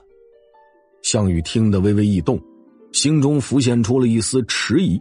他觉得范增说的有道理，可是使者的话还在他心中萦绕，一时间他不知道该如何决断。见项羽犹豫，范增此时心一横：“如果羽儿你不信老夫了，那就准许老夫告老还乡。”听到这话。项羽有些气恼了，他还是不想范增走的。这些政务太繁琐了，但是对方呢让他有些下不来台。好在这时候，营帐的门忽然间被打开了，项庄走了进来，看着营帐内的情景，带着几分惊愕说道：“先生，呃，阿宇，你你你你们这是为何呀？见到项庄，项羽没有解释，只是说道：“亚父，今后你就只管政务就是了。”说完就走出去了。项庄有些莫名其妙，连忙问范增：“先生，呃这这这到底是怎么了？”范增微微叹了一口气，看向项羽的眼中有些失望。项羽没有识人之明也就罢了，对上秦王这狡诈恶徒，一般人也没有什么办法。可是这性子太过刚直了，人生在世就是要学会低头啊！看着一旁的项庄，范增的心中一动，很快把刚刚的事情告诉了项庄。项庄很惊讶，这这明显是明显是离间之计呀！阿玉糊涂啊！先生放心。我这就去劝告阿宇。说着就要去找项羽，此时却听到范增说道：“项庄将军，你信老夫吗？”项庄愣了一下：“先生何出此言？您对项氏的心意，我等都看在眼里。阿宇他也只是一时没有想通而已。您放心，我这就去劝他。他还是相信范增的。别的不说，就说当初宴请赵浪的时候。”范增可是主动安排了杀局，差一点就成功了。这样的人怎么可能是赵浪的人呢？等了这么久我才摊牌，你以为这就完了吗？你们就不想知道接下来的故事吗？欢迎继续收听。欢迎收听多人精品小说剧《大秦》。不装了，你爹我是秦始皇。作者头顶一只喵喵，制作五一剧社，由喜马拉雅和宇文集团共同出品。第五百七十五集，叔陪你喝酒。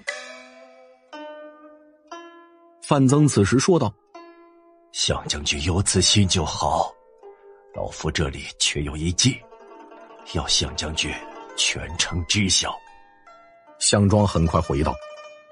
先生但说无妨，我要你将此次老夫和大将军的争吵传出去。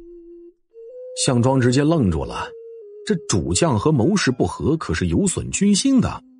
正要劝告呢，范增却将他拦住，然后把自己计谋说完。项庄听得眼睛猛地亮起：“啊，先生大才呀！哼，饶是秦王狡诈，这次也要让他吃亏。”只是这次范增没有太过得意。秦王狡诈多疑，我等还是要小心些。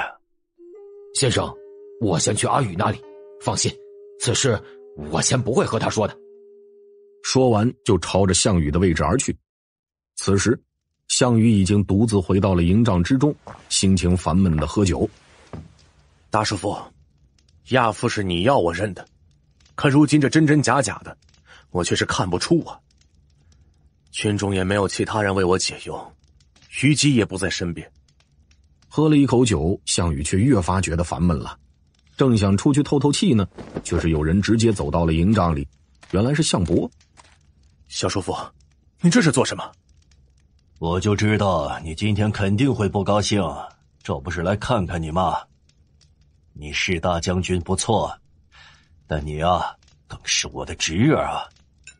来，叔父陪你喝酒。听到这话，项羽不由得想起了大叔父，心中浮现出了一丝温情。哎呀，大叔父之前说的对呀，这外人哪有自家人可靠啊？项伯一边给项羽倒酒，一边琢磨着：赵兄似乎很在意我家侄儿啊。如果我能把雨儿给劝说好了，那王位是不是就稳妥了呢？项伯陪着自家的侄儿喝了不少酒，当然了，这也有好处。除了粮草之外，项羽还把一些军中内务交给了他，算是升官了。可惜的是，这点官位在项伯看来已经不算什么了，毕竟那能跟王位相比吗？离开项羽的营帐，项伯看着赵浪所在的方向，轻声的自语：“秦王，你放心，我一定会尽力说服雨儿的。”两天后的早晨，齐地半岛码头上。原本荒凉的海湾，因为码头的存在变得繁华了不少。此时，不少人正朝着码头赶过来，有着急的，甚至一路小跑。这里搬运货物需要不少人，这里的主人给钱那是极为公道，有时候甚至还管吃的。虽然说不知道吃的那东西是什么，但是入口软绵可口，最重要的是饱腹，所以呢，大家都愿意在这儿谋一个生路。而且今天码头上来了很多军士，还有物资，肯定是要许多的搬运工，正是他们卖力气的时候。一个头发都有些花白的老汉到了安排搬运的地方，露出了一个满是褶皱的笑脸。哎呀，贵人，老汉有气力，可以搬东西。负责安排管事的看了一眼老汉，倒是没嫌弃对方年龄大。现在青壮们要不就在田地里，要不就去打鱼了，再要不。就是被拉去打仗了，只有这些老汉才有时间来做搬运工。这里没有什么贵人，我出钱，你出力，搬东西到太阳落下。管事的很快把情况说明。你只要答应，就拿一竹牌去那边干活吧。老汉哪里会拒绝呀？连连点头。嘿嘿，都听贵人的，都听贵人的。拿了竹牌就去了旁边，青筋暴起的用力抓起一个大袋子就扛到了身上。只是用力有些猛，没有站稳，眼看就要倒下去。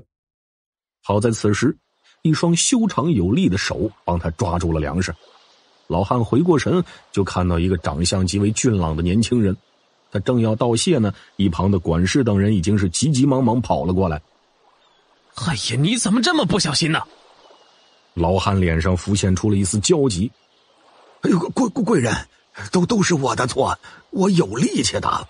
只是刚刚脚滑了一下，他必须要保住这份工，要不然家里人就得饿肚子。一旁的管事刚想发怒，看了一眼年轻人，却又不敢。年轻人很快说道：“不要紧，一次少办一些就是。你先去忙吧。”老汉有些忐忑的看了一眼管事，管事的连忙说道：“还愣着干什么？赶紧去呀！”老汉这才搬了一袋轻一点的离开。等老汉离开之后，年轻人才对管事的说道：“海哥呢？”“ 回贵人，海哥他正在另一处码头上，已经让人去叫了，马上就到。”管事的可不敢对这年轻人有丝毫不敬，因为这才是码头真正的主人。年轻人却是笑道：“你不是说这里没有什么贵人吗？我觉得说的很对。”管事的只是陪笑，这些贵人的话听听就行了。千万当不得真。好在海哥很快就到了，倒是避免了他尴尬。海哥一到这儿，就朝着年轻人走过来，面露喜色：“头，您来了。”年轻人自然是赵浪。赵浪点点头，看着招募人手的管事说道：“让那些人一次少办一些，不用出死力，然后再去多雇佣一些人，一天发三个蒸土豆，该给的工钱不能少。”争取让所有到了码头这里来的人，都能有活干。多一个干活的人，就少一家人挨饿。以后他当然是会大兴基础建设的，但是他的建设跟老爹的不一样，将会带动大秦的发展。看看码头就知道了，一个码头就能养活成百上千的人。这些码头呀什么的，只不过是一个小小的缩影。当然了，前提是他有足够的粮食、物资、钱财。这些东西呢，才能形成良性的循环。海哥不知道赵浪为什么突然提起这个，点头应是，然后说道：“头儿，是不是管事的有什么没做好的？我立刻换了他。”赵浪摇了摇头：“他做的不错，不说这些了。我这里有近一万人，你要尽快都送回辽东，我会第一批走。”海哥自然应是。等了这么久，我才摊牌，你以为这就完了吗？你们就不想知道接下来的故事吗？欢迎继续收听。欢迎收听多人精品小说剧《大秦》，不装了，你爹我是秦始皇。作者：头顶一只喵喵，制作：五夷剧社，由喜马拉雅和宇文集团共同出品。第五百七十六集，全军出击。很快，两人就商定好了大致的事情，只是结果不尽如意。现在船还是太少了，太小了，想要完全把这些人运过去，要不少时间。赵浪看着海面，突然问道：“你们的船有走过外海吗？”他们的船呢，一直都在辽东和胶东郡之间的内海航行，没有去过外海。海哥愣了一下：“我没有去过，不过于蛋去过。”听到这话，赵浪露出一个笑容。看来海哥还是放不下鱼蛋啊，但也无妨。好，等把大部分的人都送到辽东，最后的一批人，我要你把人送到高句丽的腹地，他们会知道怎么做的。他从来就不只是想着防守，高句丽既然敢来他的地盘，他就让对方永世翻不了身。海哥很快领命离开，赵浪还是站在码头上，似乎在等人。没多久。一匹快马到了不远处，赵浪才露出一个笑容，迎了上去。萧何，辛苦了。来人正是萧何。赵，秦王。萧何也是极为激动的到了赵浪的身边，他已经接到消息了，怎么都没想到赵浪居然攻下了咸阳，而且还是诸子百家中农家墨家的首领。这些事情赵浪没和他们说过呢，当时他差点惊得坐到地上。好在没人看见，当然了，他也不会怪罪，哪有主家会把自己的底牌都告诉下属的？人情世故这一方面，萧何拿捏的很准。赵浪也没有多做寒暄，他要坐第一批船走，径直问道：“齐地的情况如何？”萧何带着几分骄傲说道：“秦王放心，这一切都在掌控之中。齐王田都也没有怀疑我们，就连齐王田荣也有意和我等联系。”如今齐地已然有驻军两万，还有三万人跟着韩信在定陶。他很快就把大致情况跟赵浪说明，赵浪微微啧舌，这才多久时间呐？齐地又多了这么多大军，韩信的军事能力的确是有些恐怖。当然，更夸张的是萧何居然支撑得住，哪怕里边有农家人协调，这也有些夸张了。自己把两个人放在齐地，那是做对了。这么一来。自己似乎是已经用云梦泽、韩魏齐四处地方形成了对楚地的包围，这倒是意外之喜。说此甚好。本王此次回辽东，是为了抗击高句丽，一两个月应该足够了。到时候会有新的计划给你们。哦，对了，如果你们听到什么有关于本王身份的传言，也不要惊慌。赵浪想了想，还是先跟这些人提前说说的好。自己的身份呢？过不了多久，应该就会被传出来。萧何有些不解的点头，但是也没多问这件事情，而是略带担忧的说道：“秦王，在下也听闻高句丽此次有近十万的大军，您的这些人够吗？”高句丽哪里来的十万大军呢？都是一些乱民而已，这些人足够了。高句丽能养得起十万战兵，那不有鬼了吗？他正好让这些人知道知道。全职精锐军事的力量，萧何也不勉强。很快，赵浪再嘱咐了一番，就干脆带着人上了船。萧何看着赵浪离开，也不由得跟着看了看高句丽的方向，有些厌恶的说道：“这些蛮夷也真是不会选时候，不然的话，现在正是秦王稳固咸阳的好时候。”他还是知道辽东是赵浪的大本营，毕竟前期那么多物资兵员都是这么来的。只是希望赵浪能早点解决高句丽，然后来和项氏和秦军决一胜负，天下已然就在眼前。正当赵浪的船驶入海洋的时候，辽东和高句丽之间的边界长城，离高句丽最近的一座瞭望台上，一名秦军正面色严肃的看着远处的一处营地，因为隔得远，从这儿看过去，那营地似乎只有一个巴掌大小，但是秦军知道。那儿聚集着近十万大军，他们探子早就报上来了。他的任务就是看着这些人的动向。哼，也不知道这些狗东西哪来的胆子，居然敢在这里聚兵。哼，要不是现在人少，老子非跟着将军弄死他们不可。秦军带着几分厌恶和一旁的同胞说道：“一个瞭望台上肯定不会只放一名军士。”另一个秦军听到抱怨，却是皱起了眉头。哎，这些人呐，应该是知道了。现在我们不多，人不多又怎么样？老子一个能打他们十个。另一边的秦军倒是不觉得对方在吹嘘，因为他们这些人呢，的确是可以以一当十，心里边对战局却是没那么乐观。他们确实是可以人人以一当十，可他们整个防线就两千人，对方有十万，他们两千人只能杀两万，那剩下的怎么办呢？长城之后就是大秦呢。就在他担忧的时候，一旁的同伴忽然间传来了一阵响动。哎，那些人好像有动静了。这名秦军顿时抬眼往远处的营地看过去，就看见原本是一团的营地分出了一条黑线出来，就像是长出来的一根尾巴。秦军已经是微微皱起了眉头。此时不远处，一名大秦骑兵朝他们疯狂的跑了过来，那是他们的前哨。点燃烽火！点燃烽火！说完就朝更深处跑了过去。两名秦军顿时脸色一肃，点燃了烽火。烽火传信是一套极为便捷有效的传信方法，也是华夏人智慧的体现。瞬时间，一道道烽火依次传递。大秦边军知道有敌军来犯，两名秦军再看一眼那黑色长蛇，就朝着自己大军而去。面对这十万大军，他们必须在一起，才能发挥出最大的实力。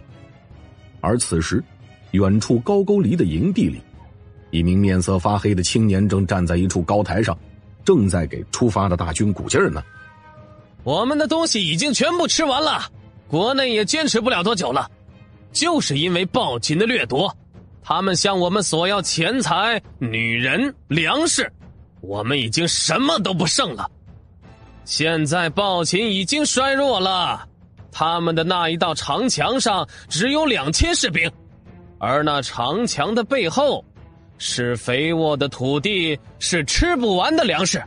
只要过去，那里的所有东西，谁站住了就是谁的。现在，为了你们的家人，为了你们的子孙后代，向暴秦进发。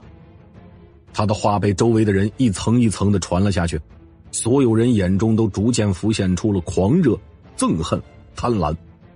走向大秦的脚步也越发快了。没错，大秦有那么多好东西，谁先抢了就是谁的。等了这么久，我才摊牌，你以为这就完了吗？你们就不想知道接下来的故事吗？欢迎继续收听。欢迎收听多人精品小说剧《大秦》，不装了。你爹我是秦始皇，作者头顶一只喵喵，制作五一剧社，由喜马拉雅和阅文集团共同出品。第五百七十七集，疯狂的高句丽。那青年说完之后，就走下高台，看着等着他的高句丽国主，露出了一个笑容。国主，在下幸不辱命，此时的士气。可堪一用了。这个家伙呢，自然就是纵横家张离。高句丽国主神色极为复杂的看了看他，先生大才啊！原本他的军队呢士气不算太高，跟大秦做了这么久的邻居，大家都知道大秦的强大和威严，没人敢冒犯。哪怕他身为国主，强制的要求这些人随他出征，可是到了边界的时候，看着那一道长城。众人心中还是升起了一阵惧怕，绵延数百里的城墙啊，这是何等伟绩呀！眼看军队士气低落，他们都已经准备用武力逼迫这些人了，张礼却是站了出来，先是直接让大家耗尽了原本就不多的物资粮食，然后就是这样一番话，几下就让这些人变成了如同野兽般的大军，这简直就是匪夷所思啊！面对夸赞，张礼却是淡然一笑，这不过是纵横家蛊惑人心的小手段，先让人陷入绝境，再抛出诱惑，给人希望，最后给明目标，这就成了。这个办法呢也有缺点，那就是后劲儿不足。等这些人到了辽东，就会成为一盘散沙，甚至会为了财物互相残杀。但是这跟他有什么关系呀？张离此时笑道：“哈。”国主不要忘了我要的那些东西就是了。这家伙现在就是一心想要炼化那颗金丹，只可惜高句丽的材料已经不够了。高句丽国主点头说道：“先生放心，只要能占据辽东，您要的那些东西，本国主是一定给您的。”很快，高句丽国主就跟上了队伍，他要亲眼看着自己的臣民攻破大清。十万人，有多少呀？密密麻麻，见不到尾巴。当这些人一个个翻过不高的秦城墙的时候，两千秦军并没有惧怕。秦军不怕战，但他们会累。这些敌人前赴后继的朝他们扑过去，血肉模糊，人间地狱。不少秦军刀刃都砍卷了，但这些人依旧没有停歇，而是发着如同野兽般的嘶吼扑上来。因为前进是死，不前进也是死。也有不少人被吓得崩溃逃散，但是他们也会被自己那些如同行尸走肉般的同伴推着前进，这是一条不归路，他们已然没了退路。两千大秦边军奋力死战，但是人力终有尽时。一天的鏖战之后，他们最终覆没在了十万人中。很快，边境上升起了一道浓黑色的烽烟。这是边境陷落的标志，告诉腹地做好准备。看着那道黑色的烽烟，高句丽国主眼中露出了一丝狂热。哈哈哈哈！赢了，我们赢了，我们居然赢了！秦军也并非不可战胜，我攻破了辽东，我居然攻破了辽东，我一定要让暴君暴臣付出代价。一旁的张离眼中闪出了一丝不屑。十万人战胜两千人，损失了近三万人。如果这也叫胜利，猪都可以当将军。但是他不会拆穿，反而恭维几句，然后说道：“国主，这辽东之地其实不可久居，以我之见，还是多供给一些庄子，搬运财物回去。”张礼其实知道，从一开始，六国联盟就没有把高句丽当成一回事，不可能把辽东给对方。所以，赶紧抢了东西才是对的，不然到时候不管是大秦还是六国联军，只要腾出手来，都会把高句丽给赶出去，还不如抢点东西走，正好给他炼药。高句丽国主此时露出了一个笑容：“本国主知道，虽然我等也是六国贵族出身，可是那些人根本就没有把我们当自己人看待。这辽东呢，单凭我自己。”当然守不住的，但是，本国主已经是联系了东湖王庭，他们会派出五千的骑兵，从这里进入大秦。等到时候啊，这辽东之地，本国主和他们共分。说完，高句丽国主露出了一丝得意的笑。他当然也不会事事指望张礼一人，对方摆明了只想炼化丹药而已。他又不瞎，听到这话，张礼却是皱起了眉头。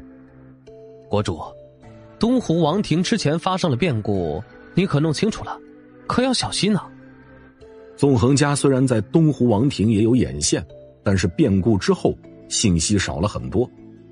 在他借助高句丽国主除掉自己老师之后，整个情报网更是一片混乱，他也没有心思去恢复。因为他现在已经感觉到仙界离他越来越近了，那个五彩斑斓、绝对不存在于世界的仙界，所以他并不想高句丽国主现在就出问题。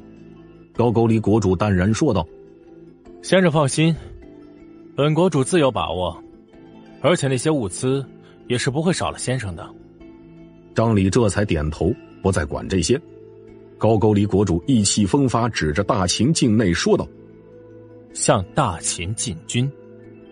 听到命令，剩下的人如同蝗虫一样朝着辽东腹地而去。看到这一幕，这些人中一名老者缓缓的叹了一口气：“用纵横家的渠道，告诉所有人，早做防备。”高句丽最终还是进入了大秦。不久前，辽东腹地的一座庄子上。不同于一般的庄子，此时整个庄子上都响着少年们的读书声。子曰：“温故而知新。”庄子上的农夫们听着声音，只觉得这是世上最美妙的声音，因为那些声音里有他们孩子一份。农夫的孩子也能读书，而且教书的是大秦的大儒，不用交学费，还管吃管住。他们要做的就是给主家种地，种地的收获大半还都是自己的。当然了，也不是没有义务，那就是农闲的时候，他们也不能休息，还要被拉着去训练。如果有了贼人，他们还有守卫庄子的职责。但是这有什么呀？如今大秦动荡，大家都是聚集起来自卫，能有这样的待遇，简直就是祖坟上冒青烟了。等了这么久，我才摊牌，你以为这就完了吗？你们就不想知道接下来的故事吗？欢迎继续收听。欢迎收听多人精品小说剧《大秦》，不装了，你爹我是秦始皇。作者头顶一只喵喵，制作五一剧社，由喜马拉雅和宇文集团共同出品。第五百七十八集，我辈儒生。我听说你家孩子都能认出百来个字了。一名农夫对身边的同伴说道，同伴露出了一个骄傲的表情。那小子还行，就是贪玩了一些。我看你家那姑娘不错呀，虽然大一岁，那不要紧，要不就嫁给我家那小子吧。农夫此时露出了一个狡黠的笑容。连连摆手，哎呀，不行不行不行！你家小子可是认识百来个字了，那以后可不得了啊！同伴脸上笑容更盛，正要说什么，农夫却是说道：“而且我家姑娘现在都快两百个字了，哪有时间结婚呢？而且家主说了，女子到了十六才能出嫁呢。”同伴的笑容顿时僵住了，农夫畅快的大笑起来。下一瞬，他笑容僵在了脸上，因为两人都看到远处的天边升起了一道道烽火，这是外敌入侵的标志。两人很快朝着平时操练的地方跑过去。此时，庄子的教室里，一群少年也发现了外面的烽火，他们还不知道这意味着什么，叽叽喳喳的讨论起来。教书的儒生不由得看了一眼，看到烽火的时候，却只是说道。接下来，你们自行通读。说完，就从旁边拿起了自己的剑。先生，您去哪里啊？有少年脆声问道。儒生却是头也不回，大笑一声：“哈哈哈哈哈！小子们，你们要记住了，我被儒生上报家国，下安黎庶。”说完，持剑向外走去。为人师者，当以身作则。儒生提剑走到教室外，就看到其他教室里走出来同样的十数名儒生，其中有老有少。这些儒生相视一笑，然后朝着庄民们集合的地方走去。此时，庄子上所有十六到六十岁男子已经集合到一起，按照平常的训练，集合到了操练的地方。当儒生赶到这里时，却看到自己的首领孔甲正在和庄子上两个主军事的少年争执。这两个少年他们认识，正是大猫和大狗。先生，您不能上战场。大狗此时苦苦哀求，一旁的大猫也是连连点头。是啊，先生，您的年岁也大了，这些粗活也就交给学生们就是了，免得那些高丽人脏了您的手。先不说孔甲本就是他们的先生，他们当然不想对方上战场。万一有什么闪失，家主回来，一定会扒了他们的皮。孔甲手持利剑，瞪着眼睛：“老夫正是壮年，哪里老了？你觉得老夫老了，是当初打你们守信的时候，嫌老夫打的不够用力吗？”老夫行走天下、剿灭山贼的时候，你都不知道在哪儿。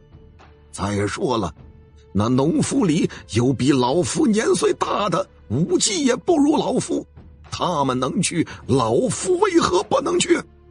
你家家主不是时常与你们说，我等并无高低不同吗？怎么到了老夫这儿就不行了？赶紧给老夫让开！孔甲的一番话说的大猫大狗哑口无言。论辩论，他们不可能是孔甲的对手，只是抱着腿苦苦哀求。反正不可能让孔甲上战场。好在此时陈平走过来，大猫大狗连忙喊道：“陈平先生，你赶紧劝劝老师吧。”陈平主要是留在辽东稳固后方，顺便渗透官府；福伯、小玉则是照顾着自己这些庄子。只是陈平还没有说话，孔甲就提前说道：“怎么，你也要来劝我？”参与政务久了，连儒生的胆魄都丢了吗？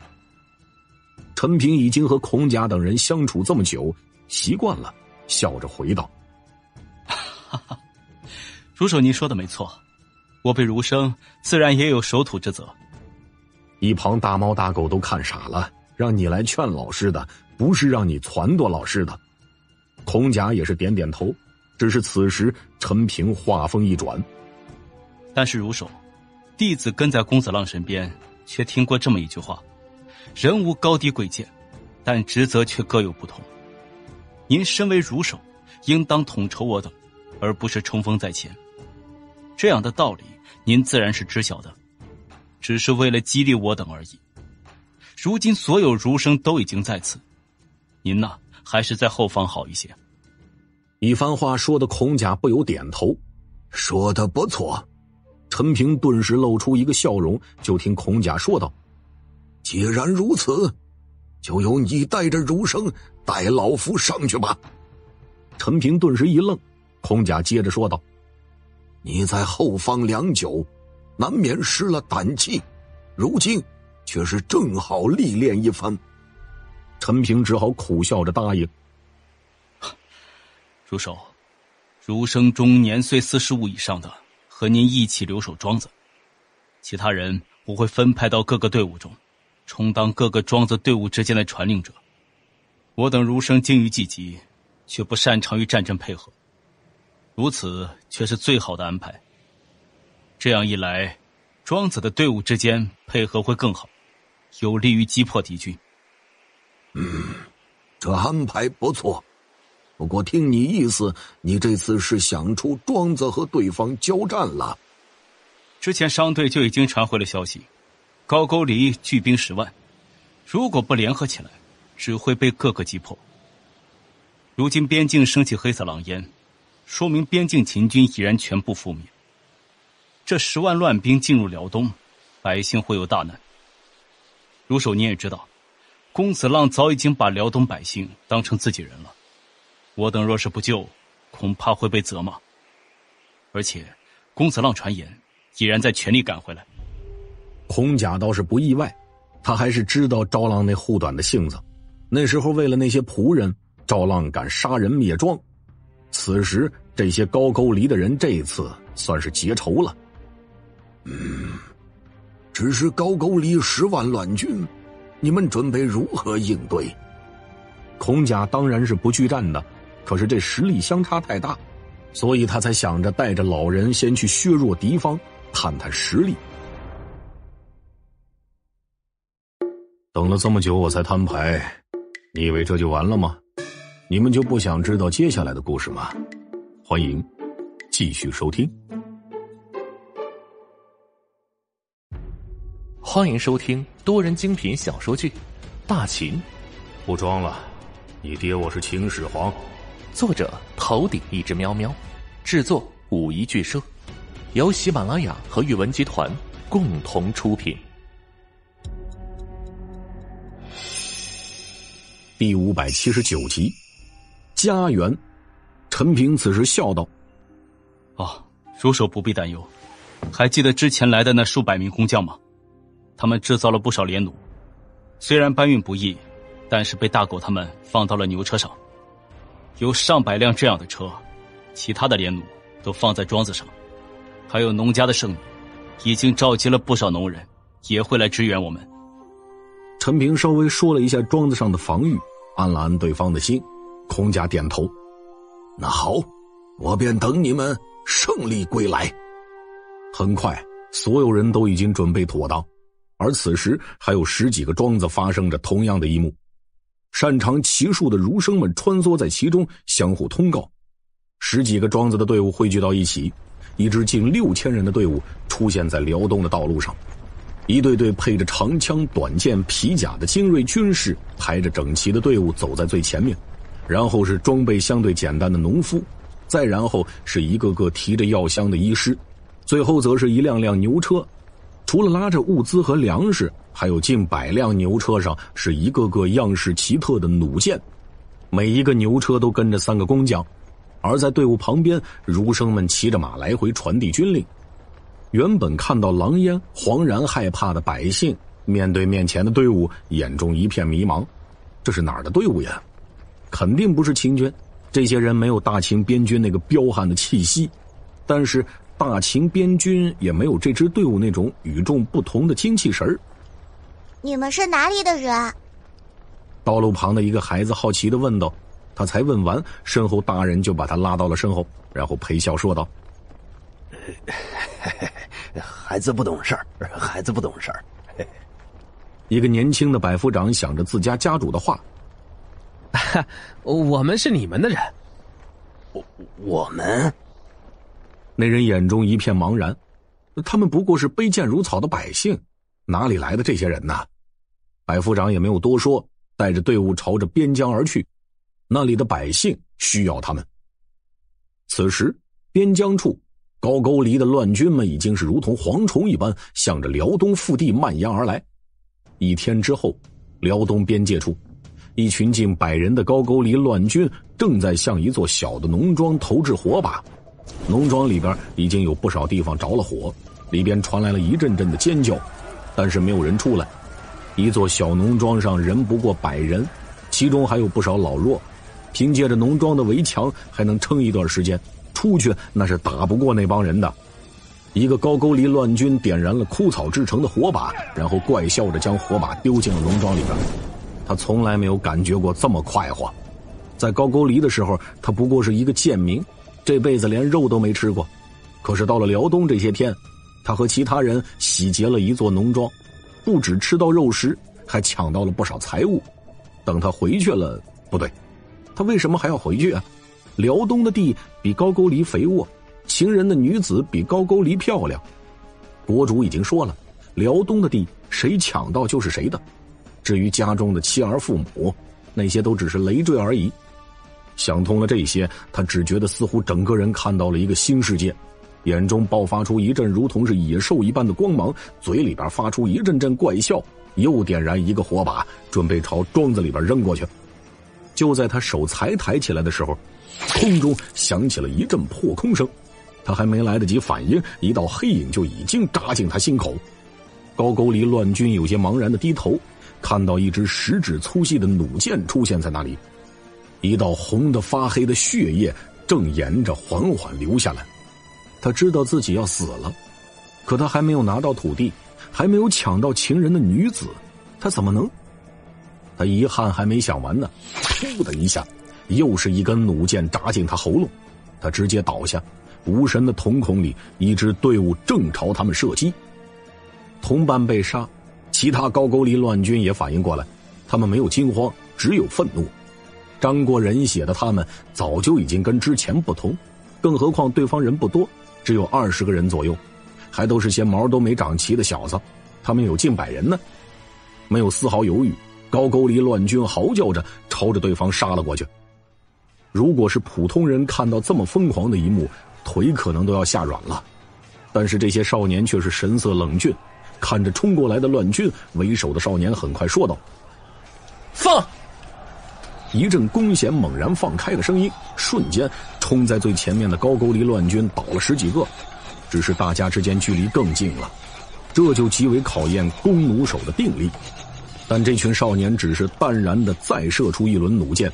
等对方冲到面前，就可以看到对方脸上龅牙时，这才拿起了身边的长枪，依靠阵型，把冲在最前面的高句丽乱军刺穿。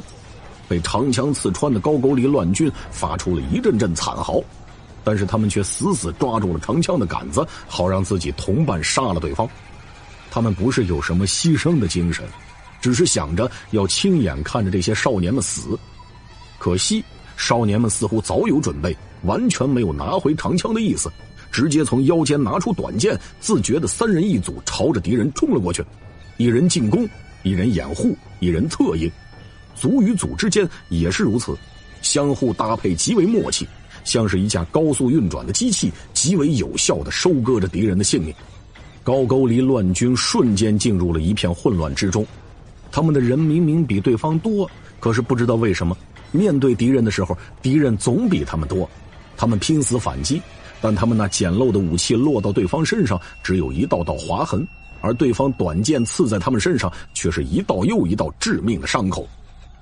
当他们发现自己不占人数优势的时候，不知道是谁先往后跑的，溃散开始了。少年们也不追赶，而是淡然拿起弓弩，再一次射击。最终，没有一个人逃了出去。等了这么久，我才摊牌，你以为这就完了吗？你们就不想知道接下来的故事吗？欢迎继续收听。欢迎收听多人精品小说剧《大秦》，不装了，你爹我是秦始皇。作者：头顶一只喵喵，制作：五一剧社，由喜马拉雅和阅文集团共同出品。第五百八十集，六千。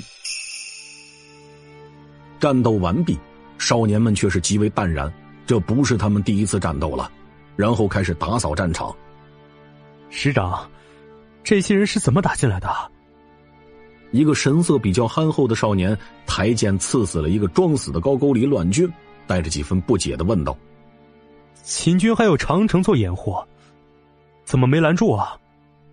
这些人没什么战法，更没什么装备，他们二十人杀了近百人，无一伤亡，甚至还有点轻松。年纪稍大一些的师长也没什么意外。他们人多。我们二十人可以杀一百，如果注意方法，甚至能杀两百、三百。可你能杀一千吗？憨厚少年认真想了一下，然后摇了摇头。这一千人，都能把我们给堆死呀？那便是了。这次高句丽可有近十万人，秦军的人可不多。你别忘了，我们的这些墨家弓弩、长枪、短剑、皮甲。加起来都快一两金子了。这些墨家弩不是连弩，却也很贵。憨厚少年直接愣住了。啥？我值这么多钱？一两金子？他全家这辈子没见过一两金子。师长没好气的说道：“不是你，是你的装备。”少年哦了一声，眼睛一亮：“哎，师长。”我能不能把你这长枪换成钱给家里啊？我有剑和弓弩啊就行。你想被家属骂死你就去，也就家主把你的命当一回事了。我又不值钱。少年吧唧着嘴说着，顺便弄死了一个没死透的。很快，他们就离开了这里。按照命令，他们要初步清除周围的乱军，因为他们要把这些乱局控制在这一片地区，不能让这些人祸害其他地方。等少年们走后，小农庄里的人打开门，看着这些年轻的背影，他们有些迷茫。这些人是从哪儿来的？这一幕在各个地方上演。当然了，也有乱军逃了出去。毕竟不是每一个小队都能一个都不放过。不久之后，高句丽乱军的一处营帐里，国主脸色铁青的看着面前的探子：“你说什么？周边死了近千人？”是的，国主，下面的人报上来的，我们周围出现了军队。听到这话，高句丽国主脸色一片惨白。难道是大秦的边军来支援了？他之所以敢大进辽东，就是知道整个辽东就两千秦军，就连县城现在也应该是不过几百守军。他拥兵十万，现在是七万多，在整个辽东应该是没有敌手的。所以他才把人放了出去抢夺物资，他要担心的只不过是项氏联军和大秦分出胜负之后才有人来对付他，可那时候他早就稳固了辽东了，更别说到时候还有胡人的骑兵助阵呢。一时间，他有些不知道该如何是好。一旁的张礼看到对方慌乱的样子，皱眉说着：“国主先不要着急，让高句丽精锐守着本阵，让所有人都回来。另外派出探子查明情况。”他虽然不是那么懂军事，但是这些基本的他还是知道的。有人出主意。高句丽国主总算是恢复了一些神智，对一旁的卫一说道：“还愣着做什么？赶紧去下令啊！”卫一眼神微微闪烁了一下，他猜到了这些人应该是赵浪的人，不过他也没有说的打算。跟赵浪这种狠人一比，他从一开始就没有看好过这高句丽王子。这大傻子，还是找个机会赶紧跑吧，去找相氏才是真的。接连应试，然后准备退出去。就在这时候，国主又叫住了他。等一下，再派人去东湖那边看看，他们到哪儿了？吩咐了一阵之后，他才让卫衣离开。很快，之前四处蔓延开的高句丽乱军，就像是受到了惊吓，又重新缩成了一团。另一边，陈平看着败退的高句丽乱军，脸上没有太多喜色，而是向一旁的大狗问道：“咱们的人都回来了吗？”大狗点头，哦，都回来了，报上来的杀敌数已经过千了。我们自己有几个受伤的，但是有医生照顾，没有什么问题的。陈平没有意外的点点头。这派出去的人就是庄子上最精锐的少年军，武器装备训练都是用钱堆出来的，有这样的战绩并不稀奇。大狗此时继续说道：“探子也找到了对方的本阵，他们倒是没有隐藏行动的意思。”大概有七八万人。听到这个消息，陈平不由得皱起了眉头。七八万人，可不是个小数字呀。他们只有六千，其中一千呢是少年精锐军，其他都是农夫。这些人虽然说时常训练，可是没有经历过实战，这个区别还是很大的。农家剩女那边怎么样了？陈平问道。姬无双的身份，赵浪跟他交代过。白姑娘和我们有联系。她那里只有三千人左右，正在赶来的路上。大狗有些遗憾的说道：“普通农夫和能上战场的农夫还是有区别的。”那我们还不到一万人。陈平的眉头皱得更深了。有一说一，这行军打仗确实不是他擅长的，而现在辽东却没有人比他更懂了。别看如手意气风发，论起指挥战士，那还不如他呢。大狗皱了皱眉。那我们先不打，反正啊，他们应该也是被吓住了，轻易不敢动。陈平此时摇了摇头：“打，必须打！对方现在也在试探我们，要是不正式打一场，他们反倒会有所怀疑。只是我们要好好想想，该怎么打。”一旁的大猫撇了撇嘴：“这有什么难的？家主早就教过我们了。御敌不管其他，先用弩箭射。”一直到没有弩箭为止，再和别人交战。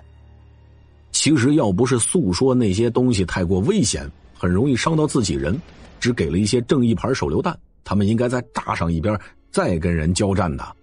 一旁的陈平听得露出了一个苦笑。你们可知道这些弩箭有多贵吗？